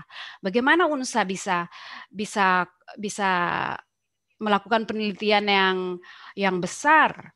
Bagaimana UNSA misalnya uh, berkompetisi, berkompetisi untuk untuk untuk menghasilkan proyek-proyek tertentu jika tidak didukung oleh pemerintah. Karena mari kita akui uh, universitas di mana-mana di mana pun itu kan tidak sama powernya ya kapasitasnya. Ada ada yang di level nasional seperti UI ITB dengan sudah well established sudah sangat sudah sangat bagus dari segi ekonomi, studentnya sangat kuat, tapi kita tidak bisa menutup mata bahwa ada lembaga-lembaga edukasi di daerah seperti misalnya UNSA, UTS, atau di mana pun di di Papua, di Timor gitu, yang jujur saja saya saya rasa uh, kapasitasnya masih jauh di bawah universitas-universitas ternama Indonesia. Uh, bagaimana mereka bisa bisa bersaing untuk untuk bekerja sama dengan industri tanpa adanya dukungan atau uh, atmosfer positif dari dari dari pemerintah. Kalau dalam level level ASEAN, saya rasa harus ada policy yang benar-benar bisa membawa uh, semua semua universitas walaupun mereka kapasitasnya berbeda, mereka bisa melakukan uh, riset sendiri dalam skalanya sendiri. Kemudian dana, dana masuk ke universitas. Kemudian universitas bekerja sama dengan dengan industri menentukan apa sih produk yang ingin dihasilkan yang dampaknya bagus untuk untuk society. Di sinilah ada laboratorium, ada segala macam. Kemudian ketika produk dihasilkan maka universitas akan memberikan license uh, patent kepada kepada perusahaan dan perusahaan bisa memberikan finance balik kepada universitas untuk menghasilkan produk-produk. Kemudian universitas juga seperti jelaskan Profesor Sudin sebelumnya memberikan sumber daya manusia yang cukup baik yang yang kemudian akan bekerja di perusahaan-perusahaan. Dan transfer knowledge antara universitas dan uh, industri ini sebenarnya berjalan dua arah, both ways. Universitas um, uh, dengan ide-idenya kemudian uh, industri lebih dekat kepada realitas. Jadi industri bisa bilang ini yang dibutuhkan oleh masyarakat. Kemudian uh, universitas melakukan perbaikan-perbaikan. Uh, saya ingin kemudian saya ingin fokus ke pada skala universitas bahwa di dalam universitas sendiri itu ada riset dan inovasi ekosistem yang harus dibangun supaya ini bisa terjadi uh, ada dari segi human resources itu harus benar-benar kuat kalau ingin membangun kolaborasi antara antara akademia dengan industri. Yaitu seperti apa human resources yang dibutuhkan yaitu full time faculty supaya mereka pikirannya nggak ke mana-mana gitu. Kan uh, harus ngajar di sini kemudian lari uh, mengerjakan pekerjaan yang lainnya itu susah untuk riset. Sebagai researcher kita membutuhkan full time time untuk melakukan research. Bahkan be beberapa dosen saya dengar mengeluh, bukan dosen di UNSA ya, tapi dosen di mana-mana, bahkan di Amerika, mengatakan saya susah melakukan riset. Karena apa? Karena terlalu banyak waktu untuk teaching, untuk di lab, ya, seperti itu. Jadi memang membutuhkan riset ini membutuhkan uh, mencari inspirasi itu tidak mudah. Ya, benar-benar ada waktu untuk riset diperlukan doctoral programs dan student-student yang talented, riset postdoktor, postdoktoral, kemudian riset facility yang memadai, dan uh, scientific publication. Jika human resources-nya bagus, sudah jelas mereka akan melakukan publikasi-publikasi ilmiah uh, ada mindset innovation dan entrepreneurship di dalam universitas. Kemudian risetnya dievaluasi dan mereka mampu melakukan international collaboration. Kemudian ada research, ada funding untuk researchnya. Dan yang terpenting yang saya lihat masih kurang di Indonesia itu adalah research administration dan support offices. Saya jarang mendengar ada ada kantor di universitas yang khusus untuk mengelola grant-grant riset Oke. Kemudian saya akan memperlihatkan bagaimana ekosistem dari inovasi dan riset ini terjadi pada konteks uh, Uni Eropa yang saya saksikan. Saya akan memberikan real example atau contoh bagaimana itu terjadi. Uh, jadi di di level di level uh, di Eropa, di Uni Eropa ada policy to build Europe, transform Europe untuk meningkatkan kompet, kompetis, uh, kapasitas mereka untuk berkompetisi melawan um, China, USA. Kemudian uh, mereka juga karena sebagai uh, Uni Eropa mereka ingin solid sebagai sebagai Uni Eropa. Jadi caranya mereka membangun European Research Council. Mereka punya visi bahwa untuk untuk uh, berkompetisi riset dan industri itu harus memang digabung ini tidak bisa tidak bisa dihindari harus ini mutlak kebutuhan mutlak. Jadi mereka membentuk European Research Council. Dan kemudian dari setiap negara-negara uh, negara di Uni Eropa mereka contribute some amount of money. Dan kemudian ini funding ini turun dalam bentuk calls for untuk research dan innovation project. Dan mereka di situ mereka mensyaratkan benar-benar bahwa pros, project research ini harus merupakan konsorsium konsorsium antara beberapa universitas dari beberapa negara dan company harus masuk untuk menulis bersama-sama uh, riset proposalnya. Kemudian uh, dari sini ini benar uh, skema ini menarik best mind, best ideas karena ada insentif, ada grant di sana dan memang benar-benar uh, di-provide oleh oleh ada fundingnya. Mari kita lihat seperti apa visi ini di ASEAN. Saya saya belum melihat visi di ASEAN menyentuh menyentuh ranah ini ya. Jadi kita harus sebagai eh, pada level ASEAN jika ingin jika ingin berkompetisi ini harus diklarify dulu lebih dulu seperti apa visinya.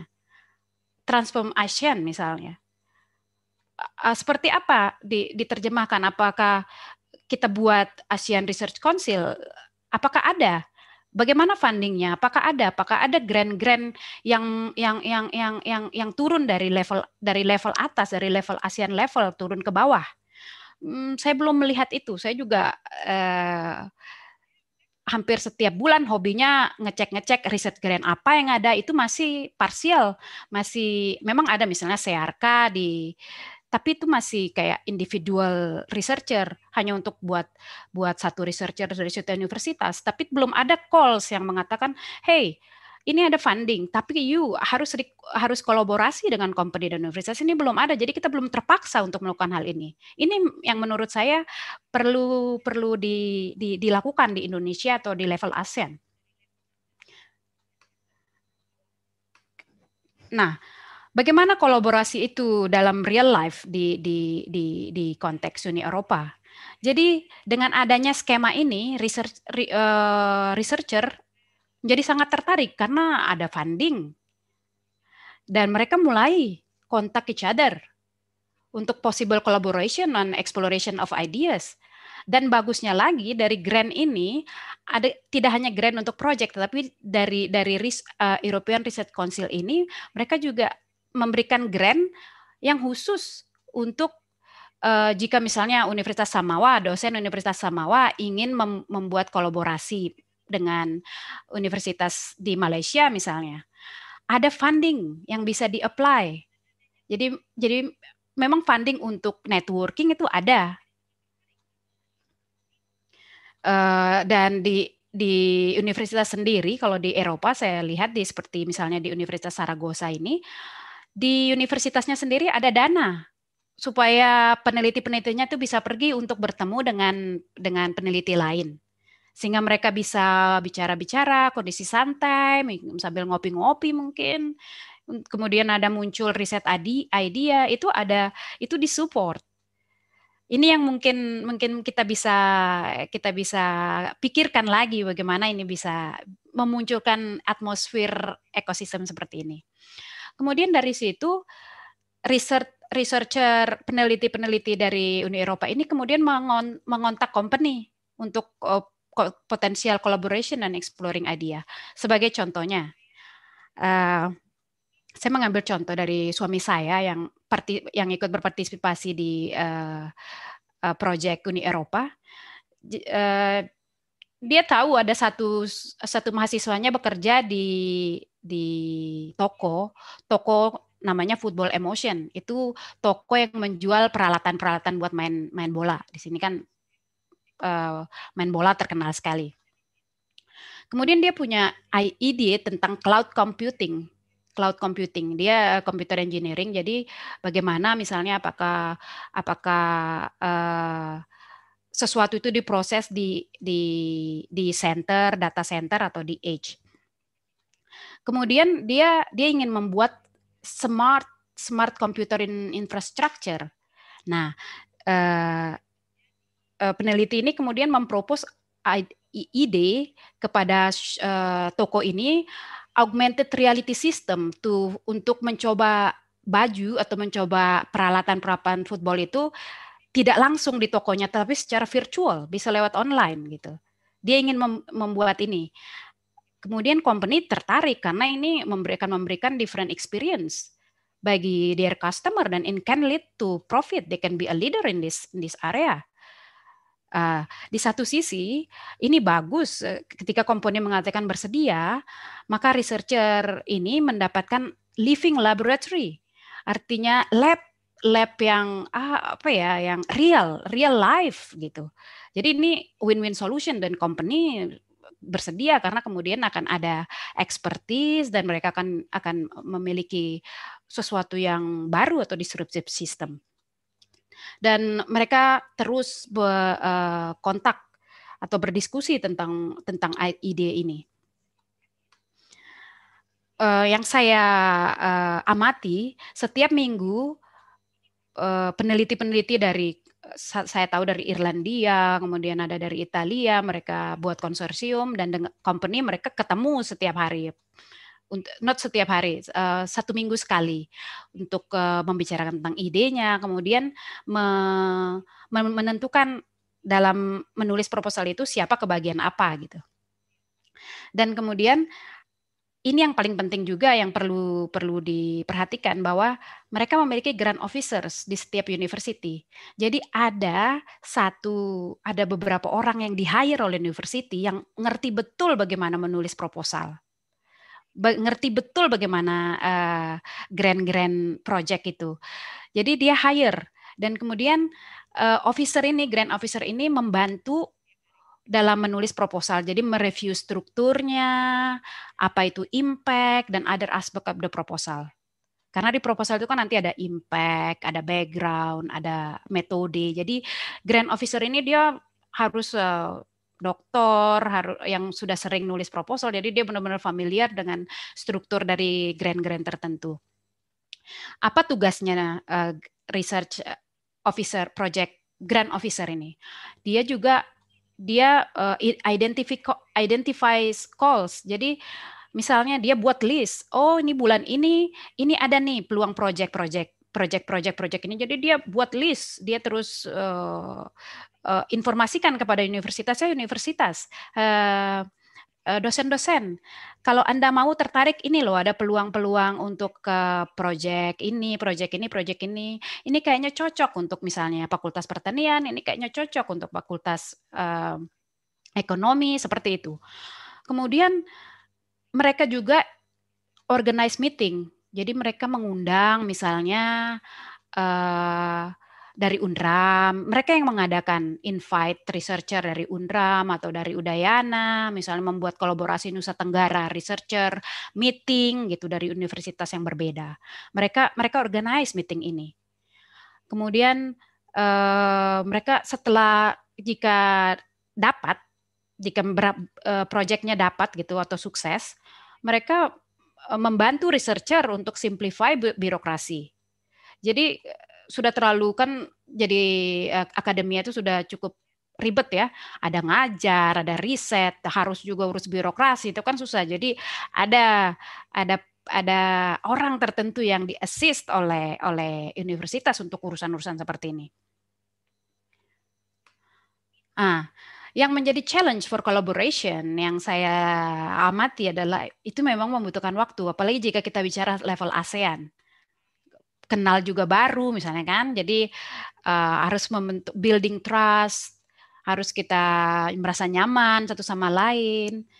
Kemudian uh, koordinasi, apalagi koordinasi misalnya uh, dari Italia uh, susah di diajak berkoordinasi seperti itu. Koordinasi ini butuh waktu karena juga different languages and then different domain. Jadi uh, dipaksa misalnya um, etika uh, misalnya untuk uh, governance, cloud governance misalnya.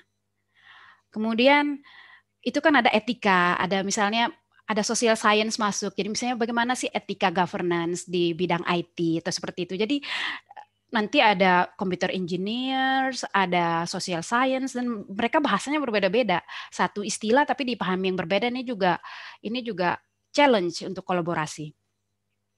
Dan ini require full focus untuk membuat riset proposal itu butuh fokus. Jadi universitas harus memberikan uh, pada memberikan uh, apa ya positif environment bagi bagi bagi dosen-dosen yang ingin membuat riset project supaya tidak terlalu banyak teachingnya atau apanya mungkin mungkin itu bisa bisa dipikirkan dan challenge for collaboration juga saya melihat uneven capacities among researchers or universities. Misalnya susah ya kayak misalnya ada universitas kecil di di bagian timur Indonesia untuk berkompetisi dengan dengan UI atau ITB gitu. Itu itu uh, nggak even kapasitiesnya. Jadi menurut saya harus ada calls calls atau harus ada grant grant tertentu yang target yang yang targetnya itu harus kepada kepada universitas yang yang yang yang ada yang kecil gitu loh. Ya misalnya buka itu secara regional, buka itu secara lokal.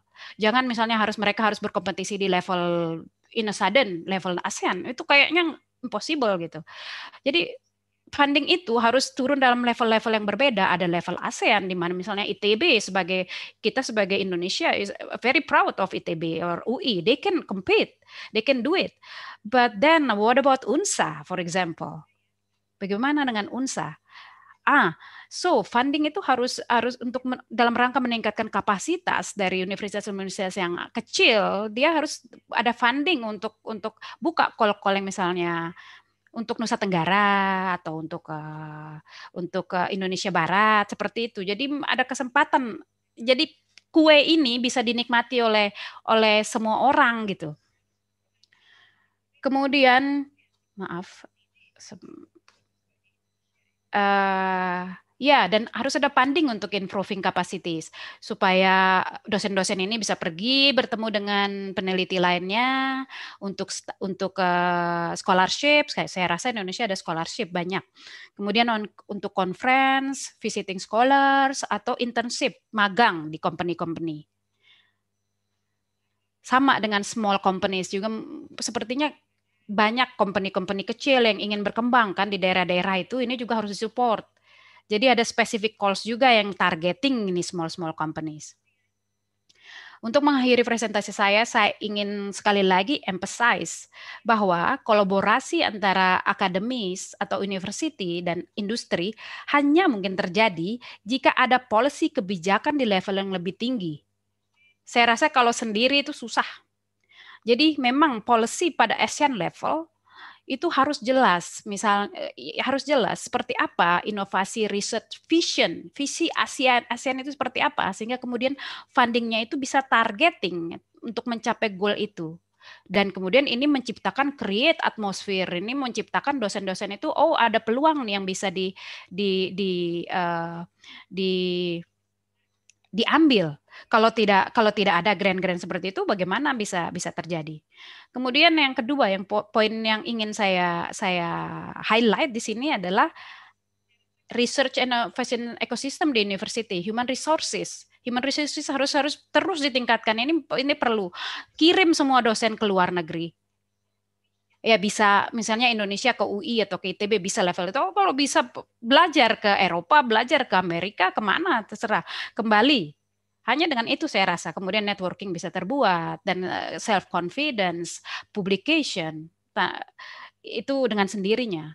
Kemudian yang yang ingin saya highlight lagi mungkin grand officer itu mungkin semua universitas sekarang harus harus mulai berpikir untuk membuat satu office di universitas yang khusus menangani tentang tentang grant supaya supaya dosen-dosen ini eh, tidak tidak terlalu berat lah burdennya ya, karena harus mengajar tadi seperti saya bilang harus urusan uh, riset lagi, urusan birokrasi segala macam. Ada ada pihak tertentu yang benar-benar identify, oh ini dia yang bisa di-apply, ini ini ini ini dan kemudian membantu dosen-dosen itu begini cara menulis proposalnya atau segala macam. Jadi saya pikir itu yang ingin saya sampaikan saat ini semoga bermanfaat bagi kita semua. Terima kasih.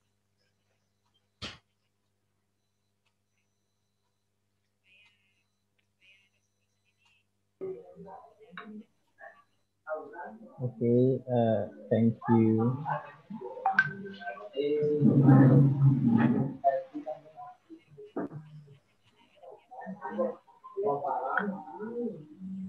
Thank you to Ms. Ida Ansharyani for the very detailed explanation.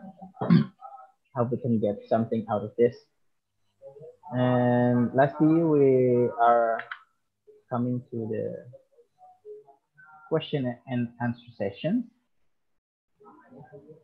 Question and answer session. Uh, we will be taking questions from the Zoom participants. You can do it by raising your hand. If there are any participants who want to post their questions, yang mau bertanya silakan mengangkat tangan di Zoom.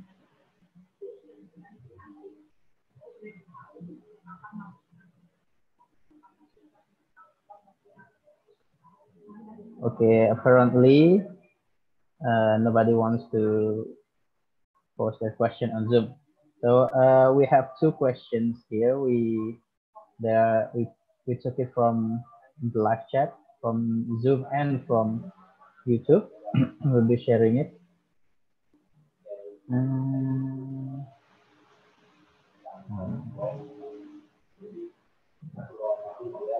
um, Yes. This question is from uh, Bu Asmini for Professor Dr. Rivani Bustami PhD. Yes. Bagaimana strategi efektif memajukan program kampus dan industri sehingga mampu menciptakan lapangan kerja? Yes, please, uh, Professor. Alright, oke. Okay. Terima kasih pertanyaannya. Uh, ini pertanyaan sangat penting dan sangat praktikal uh, pertanyaannya ya. Uh, bisa dijawab dari beberapa level juga.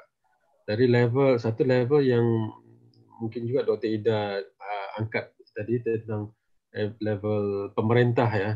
Uh, mungkin dari pendekatan kebijakan dan pemerintah itu di antara apa nama strategi yang sangat efektif yaitu memberi apa namanya insentif untuk perusahaan-perusahaan untuk um, bekerja sama dengan universitas dan untuk men, me, mengambil mahasiswa untuk bekerja. Uh, sama ada uh, apa namanya ni uh, sewaktu mereka belajar ataupun uh, selepas mereka belajar ya. Uh, jadi konsep magang contohnya ya internship dan sebagainya. Hmm, tetapi juga kalau kita pikirkan um, itu satu ya itu satu. So, kebijakan pemerintah dengan menggunakan insentif memberikan apa nama ni uh, deduksi uh, pengurangan uh, apa ni uh, pajak contohnya memberi insentif yang lain-lain kepada perusahaan untuk kerjasama dengan universitas ya.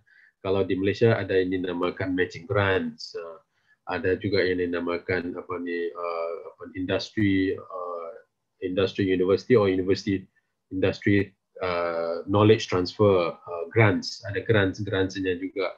Uh, maksudnya grant yang diberi kepada universitas ataupun kepada industri untuk industri memindahkan teknologi atau pengetahuannya kepada universitas atau universitas pindahkan pengetahuan atau teknologinya kepada uh, apa namanya ni industri. Bisa gitu ya.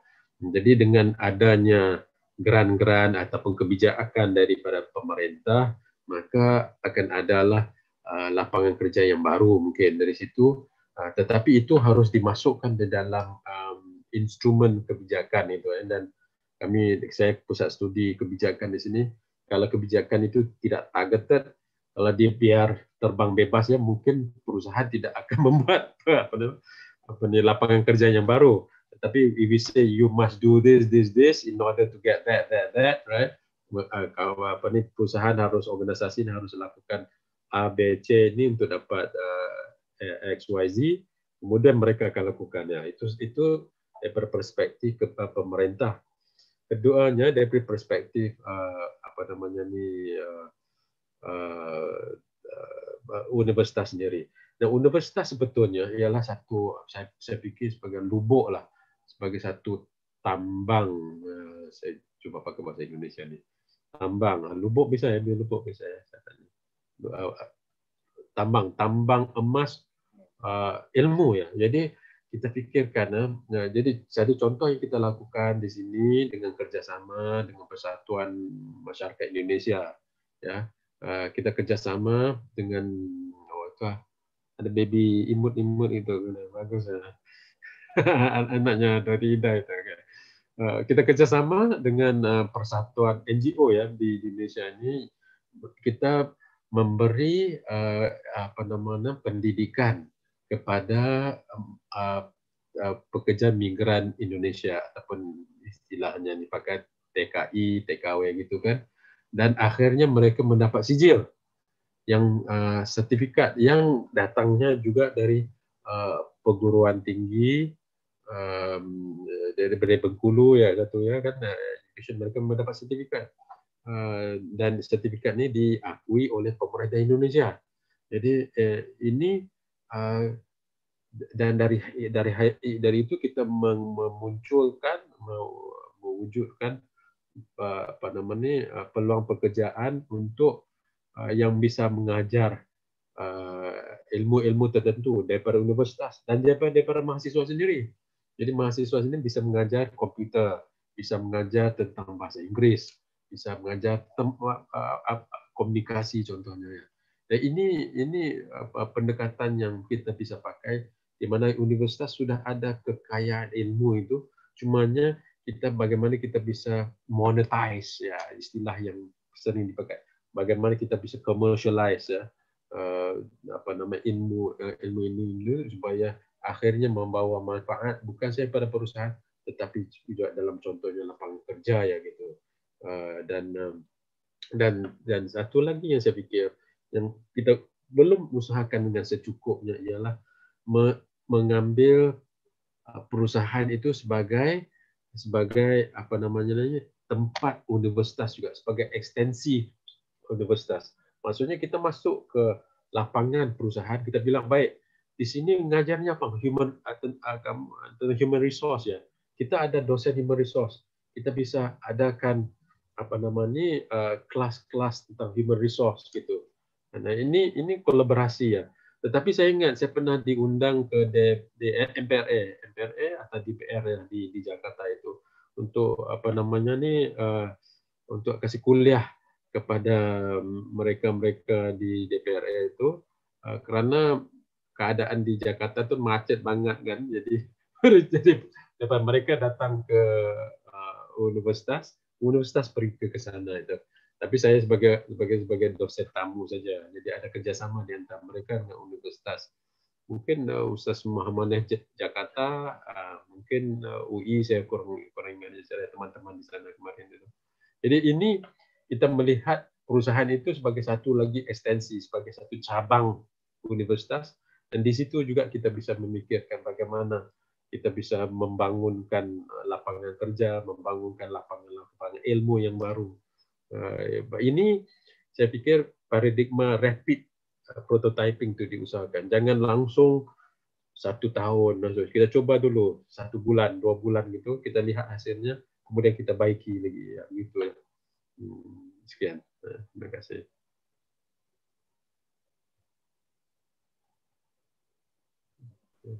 Mungkin ada tambahan dari Ibu Ida. Um, ya, saya setuju sekali dengan program internship. Mungkin itu yang paling uh, viable saat ini. Jadi kalau bisa tesis-tesis atau studi akhir misalnya itu bisa mulai di-push ke arah situ, ke arah uh, mereka magang di company, kemudian um, melakukan tugas akhir di sana. Mungkin itu saja. Mungkin itu mahasiswa yang misalnya uh, selama ini tes uh, studi akhir. Iya ya. Oh, masih lanjut? Sudah, sudah. Putus-putus. Oke. terima kasih. Uh, ada kita ada penanya dari Zoom mungkin uh, di Pak Heri. Pak Heri, tolong uh, mic-nya dinyalakan Pak.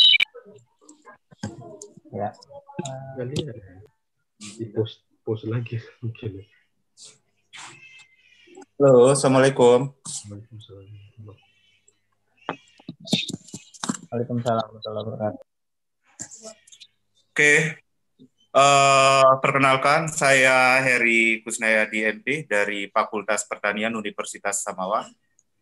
Menarik ketika kita berbicara tentang uh, koneksi antara dunia universitas dengan dunia industri Nah, sangat menarik ketika berbicara seperti ini.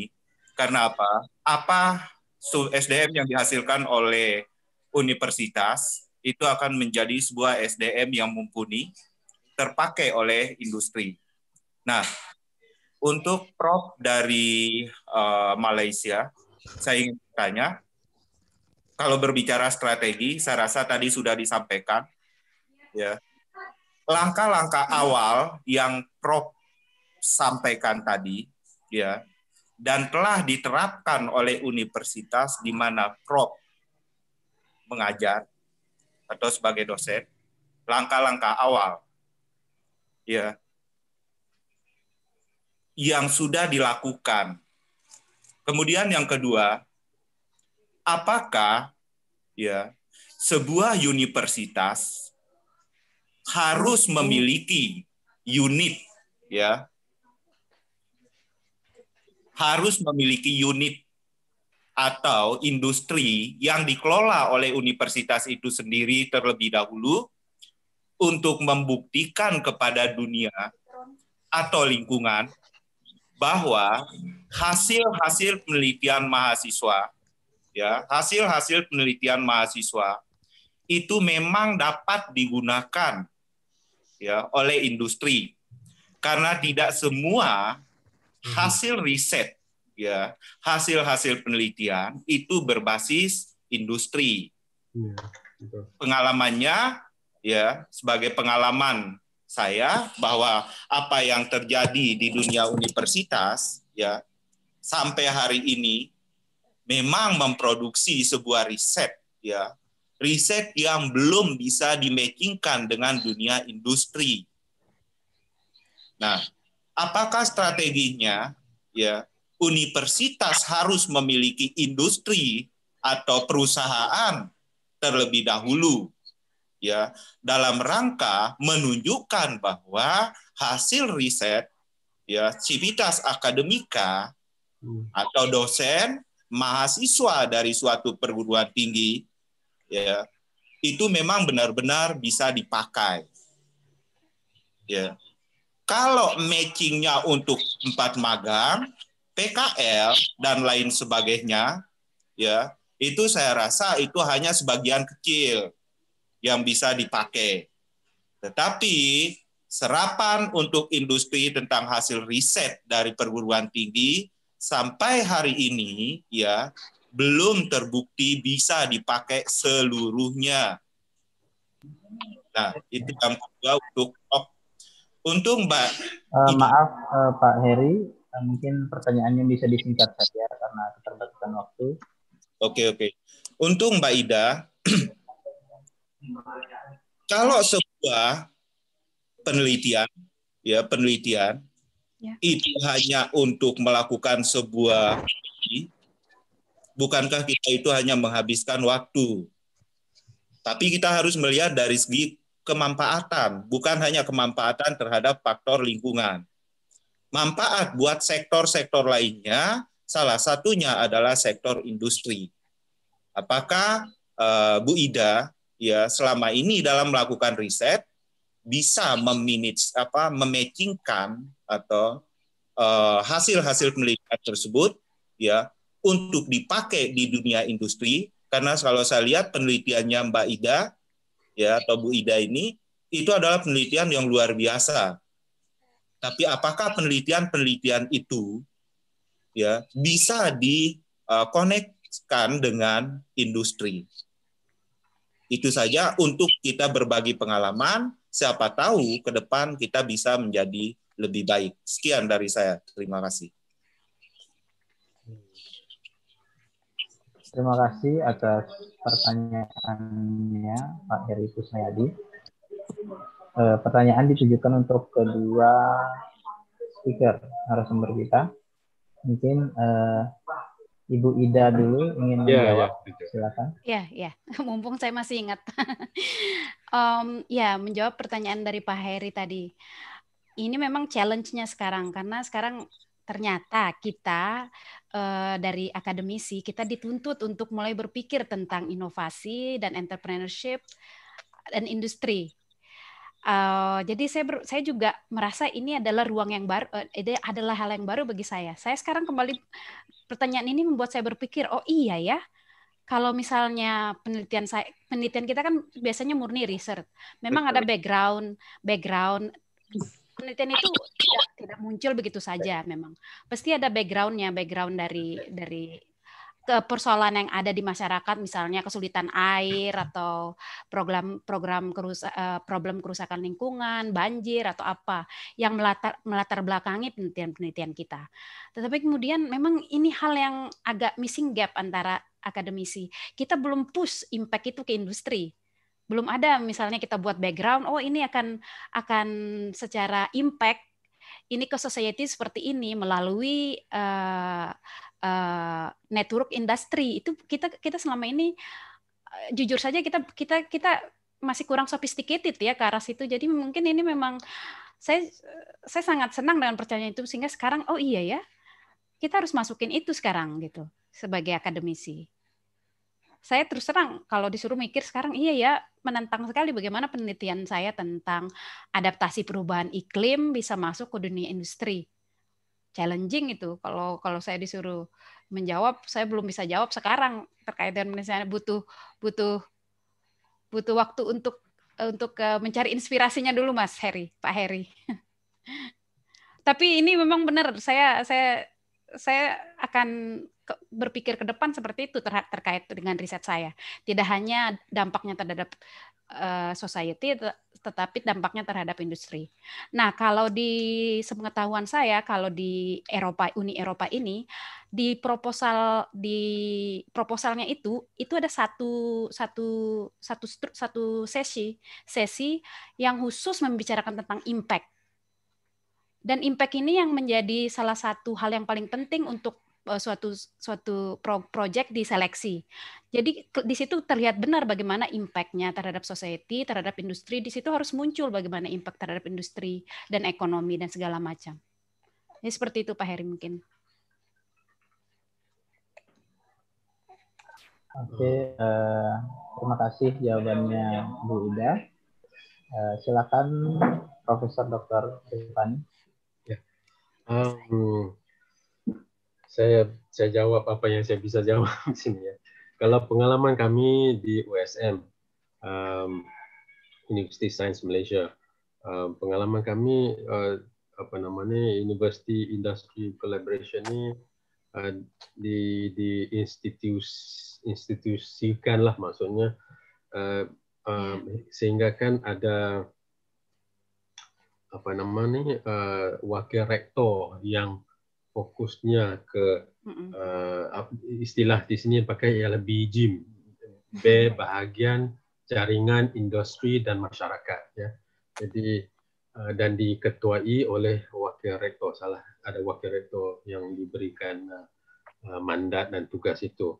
Um, ada beberapa contoh lagi yang kita ambil ialah uh, kita memasukkan yang saya beri, beri contoh tadi adalah memasukkan perusahaan ke dalam universitas. Hingga hingga kan di kalau datang ke USM itu akan akan akan lihat satu satu gedung besar bentuknya seperti T itu T T uh, dan di gedung itu adalah gedung Tora Tora daripada Jepang itu Tora Tora, Tora Jepang itu jadi Tora ini adalah satu apa nama uh, kerjasama.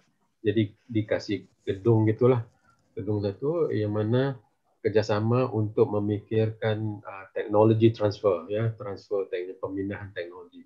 Jadi konsepnya lagi bukan kita, bukan kita ke sana bukan kita keluar saja tapi bawa mereka ke dalam juga.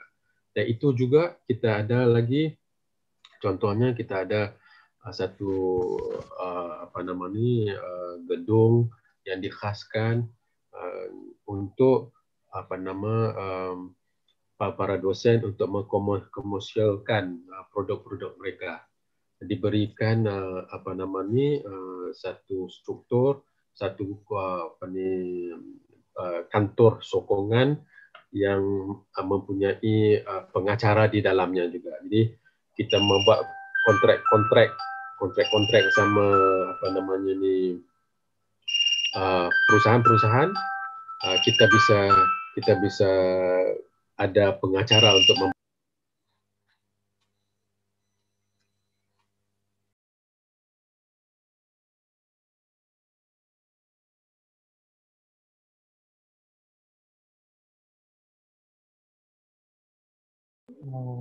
maaf uh, uh, Prof di unmute dulu dulu oke okay.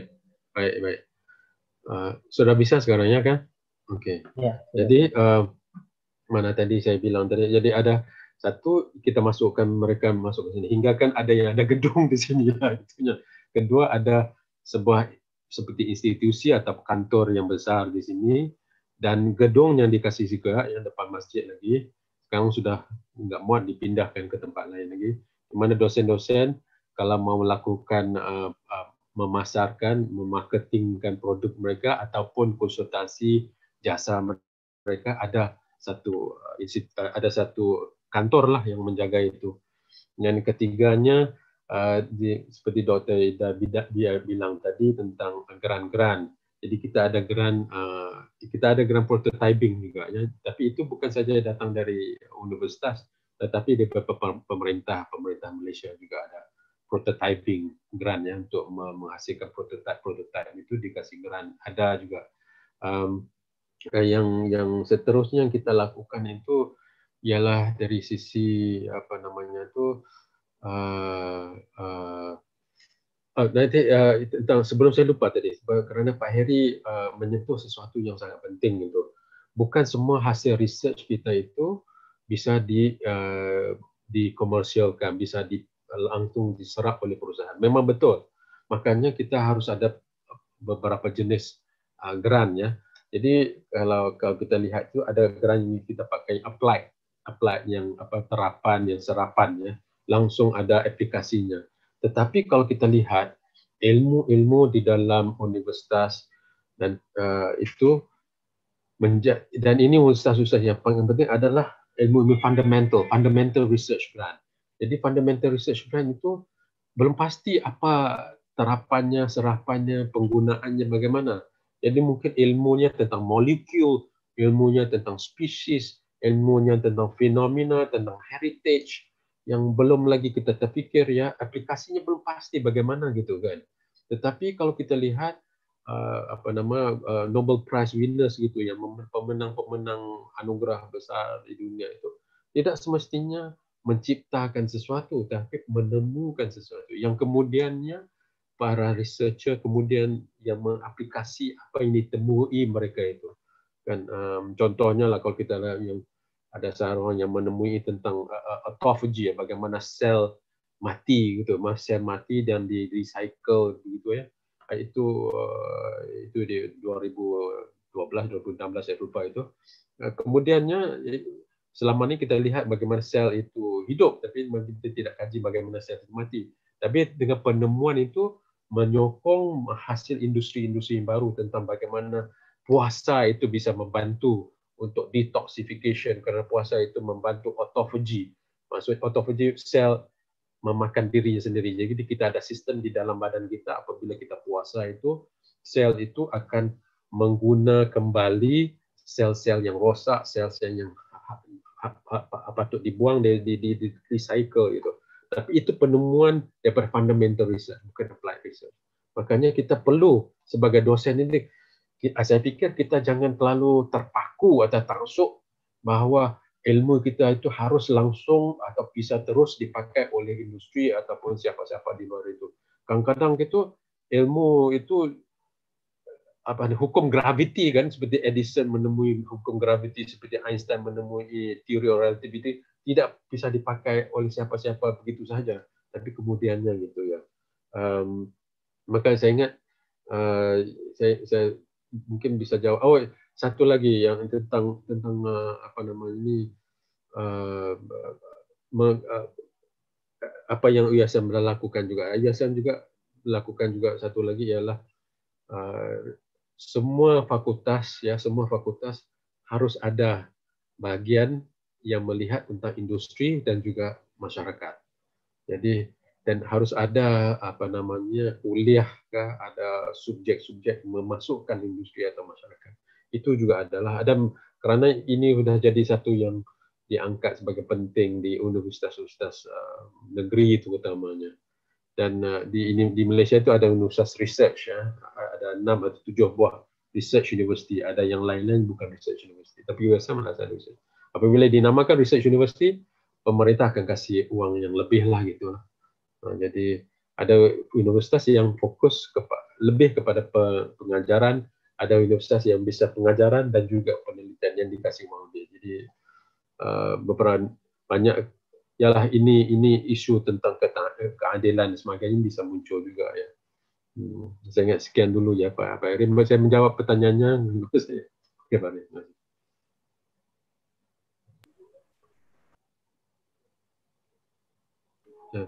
Uh, terima kasih banyak atas pemaparannya Profesor Dr. Tiffany. Semoga bisa menjawab pertanyaan yang disampaikan oleh Pak Heri. Ya, uh, we'll be taking two more questions.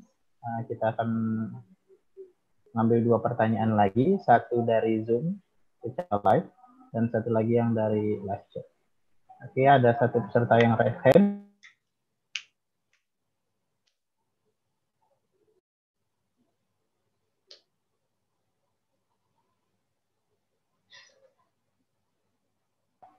Abdul Rahim.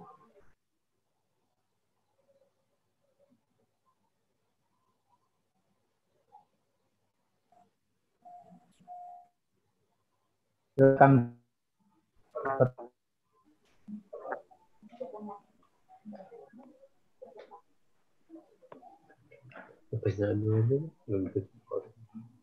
Silakan Pak Raul. Harus masuk kali lagi kita. Oh. Tadi HP-nya bunyi, saya matiin gitu. Saya aja, aja.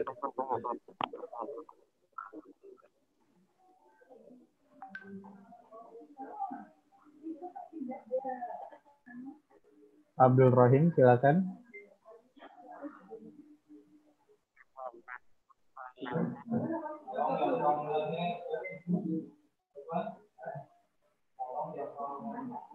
Oke, uh, sepertinya masalah koneksi dengan Pak Abdul Rohim. Uh,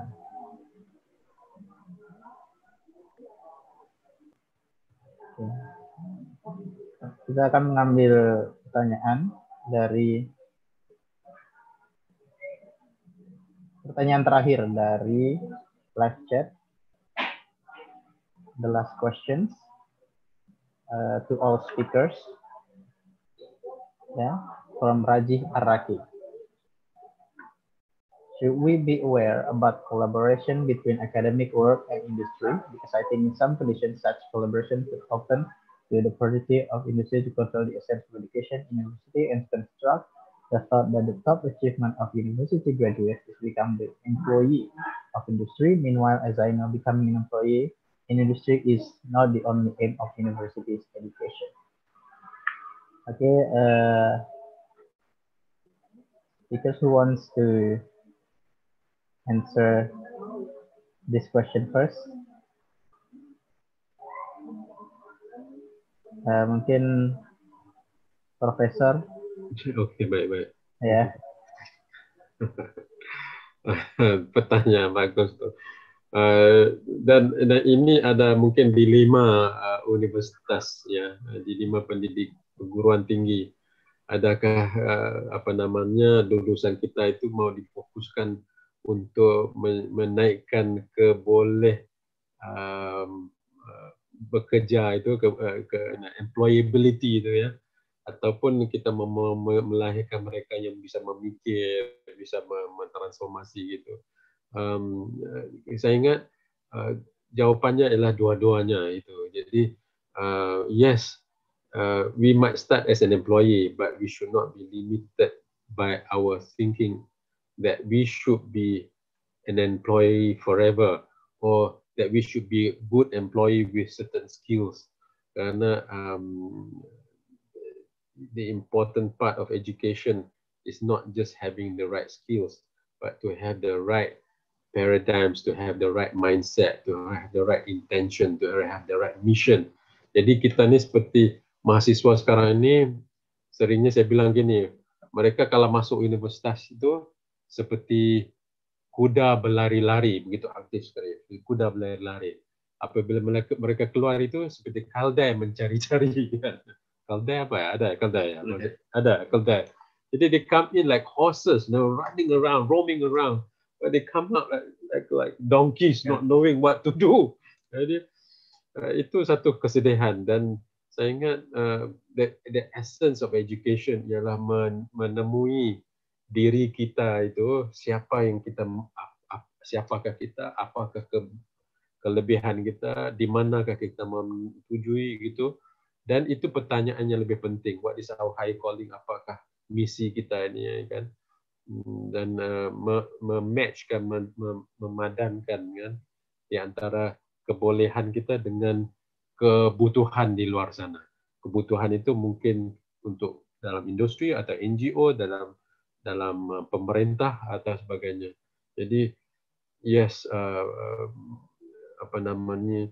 My thought is this: we should our students or universities should produce people with the right attitudes, with the right mindset. Skills can be trained kemudiannya. Tetapi Uh, skill itu tidak boleh di, di, diketepikan, tidak boleh dimarginalisasikan completely kan dalam uh, tetapi itu bukan pertanyaan di universitas sekarang. Langsung kita mau ya kalau istilah di sini istilah uh, di USM ini berada di Pulau Pinang. Pulau Pinang ini banyak uh, perusahaan-perusahaan uh, elektronik ya. In fact Intel yang terbesar di di dunia ada di, di Pulau. They what they you know what they want? They want a smoking baby.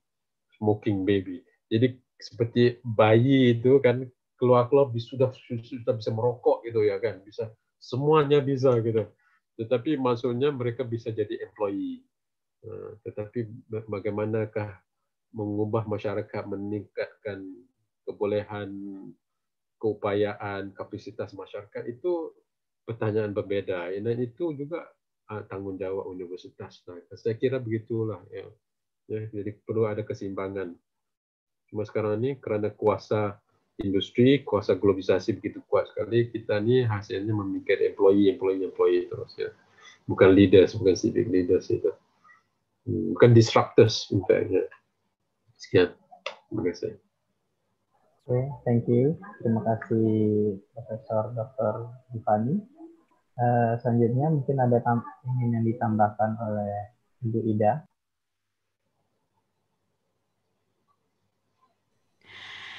Uh, saya rasa memang ini tidak bisa dipungkiri ya, uh, ke depan academic work dan industri ini intertwined. Jadi ini tidak tidak ini sudah mau tidak mau universitas uh, harus bekerja sama dengan industri. Seperti seperti kita ketahui universitas juga kan butuh funding ya untuk untuk keberlangsungannya. Dan uh, industri itu profit. Jadi mereka mereka saling saling topang industri bisa finance, academic world dan academic world bisa memberikan ide-ide kepada industri. Memang memang ada ethical questions di sini. Nanti bagaimana dengan dengan kayak misalnya vaksin lah.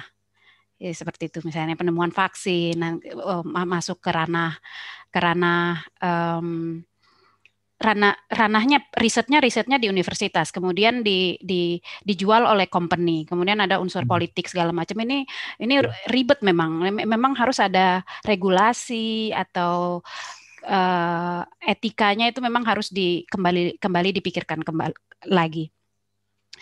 Uh, seperti Pak Profesor bilang tadi, memang di universitas itu tidak tidak melulu hanya untuk bekerja di industri.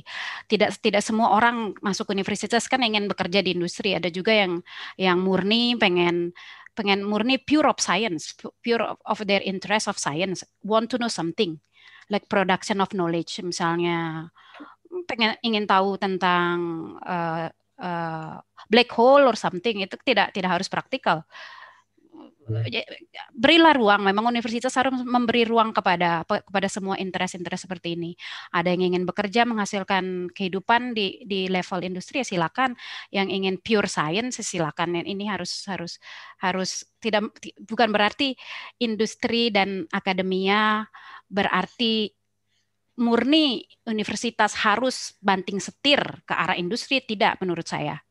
Jadi tetap memang memang pure science itu production of knowledge itu tidak harus tidak boleh mati menurut saya. Hmm. Gitu. Siapa lagi kalau bukan ak ak ak ak akademia yang yang melakukan hal seperti ini. Ya. Terima kasih. Uh, terima kasih atas uh, jawabannya Ibu Ida Cerani PhD. Oke, okay, uh, jawaban beliau tadi bersamaan dengan menandai akhir dari seminar online kita, seminar internasional kita, yang alhamdulillah berjalan dengan lancar. Uh, saya ucapkan terima kasih. Thank you for all the speakers. Dan terima kasih untuk semua partisipan yang telah mengikuti dan meramaikan seminar ini. Uh, sebelum uh, kita tutup, mari kita foto bersama dulu. ya. Ini new normal, new normal kita. Tunggu tunggu. ya please. Ya. Normal, ya. Babynya masuk sekali. Itu baby. ikut itu? seminar nasional, ikut seminar pak. Bagus tuh. Ya. Pekerja di industri. hmm. Oke. Okay. Uh, Namanya siapa tuh Data Ida anaknya? Anjani namanya Pak. Anjani. Ya. Satu, dua, tiga.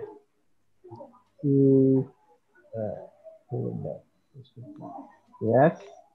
Uh, one more time. Satu kali lagi. Uh, foto kita foto ya. Satu, dua, uh, tiga.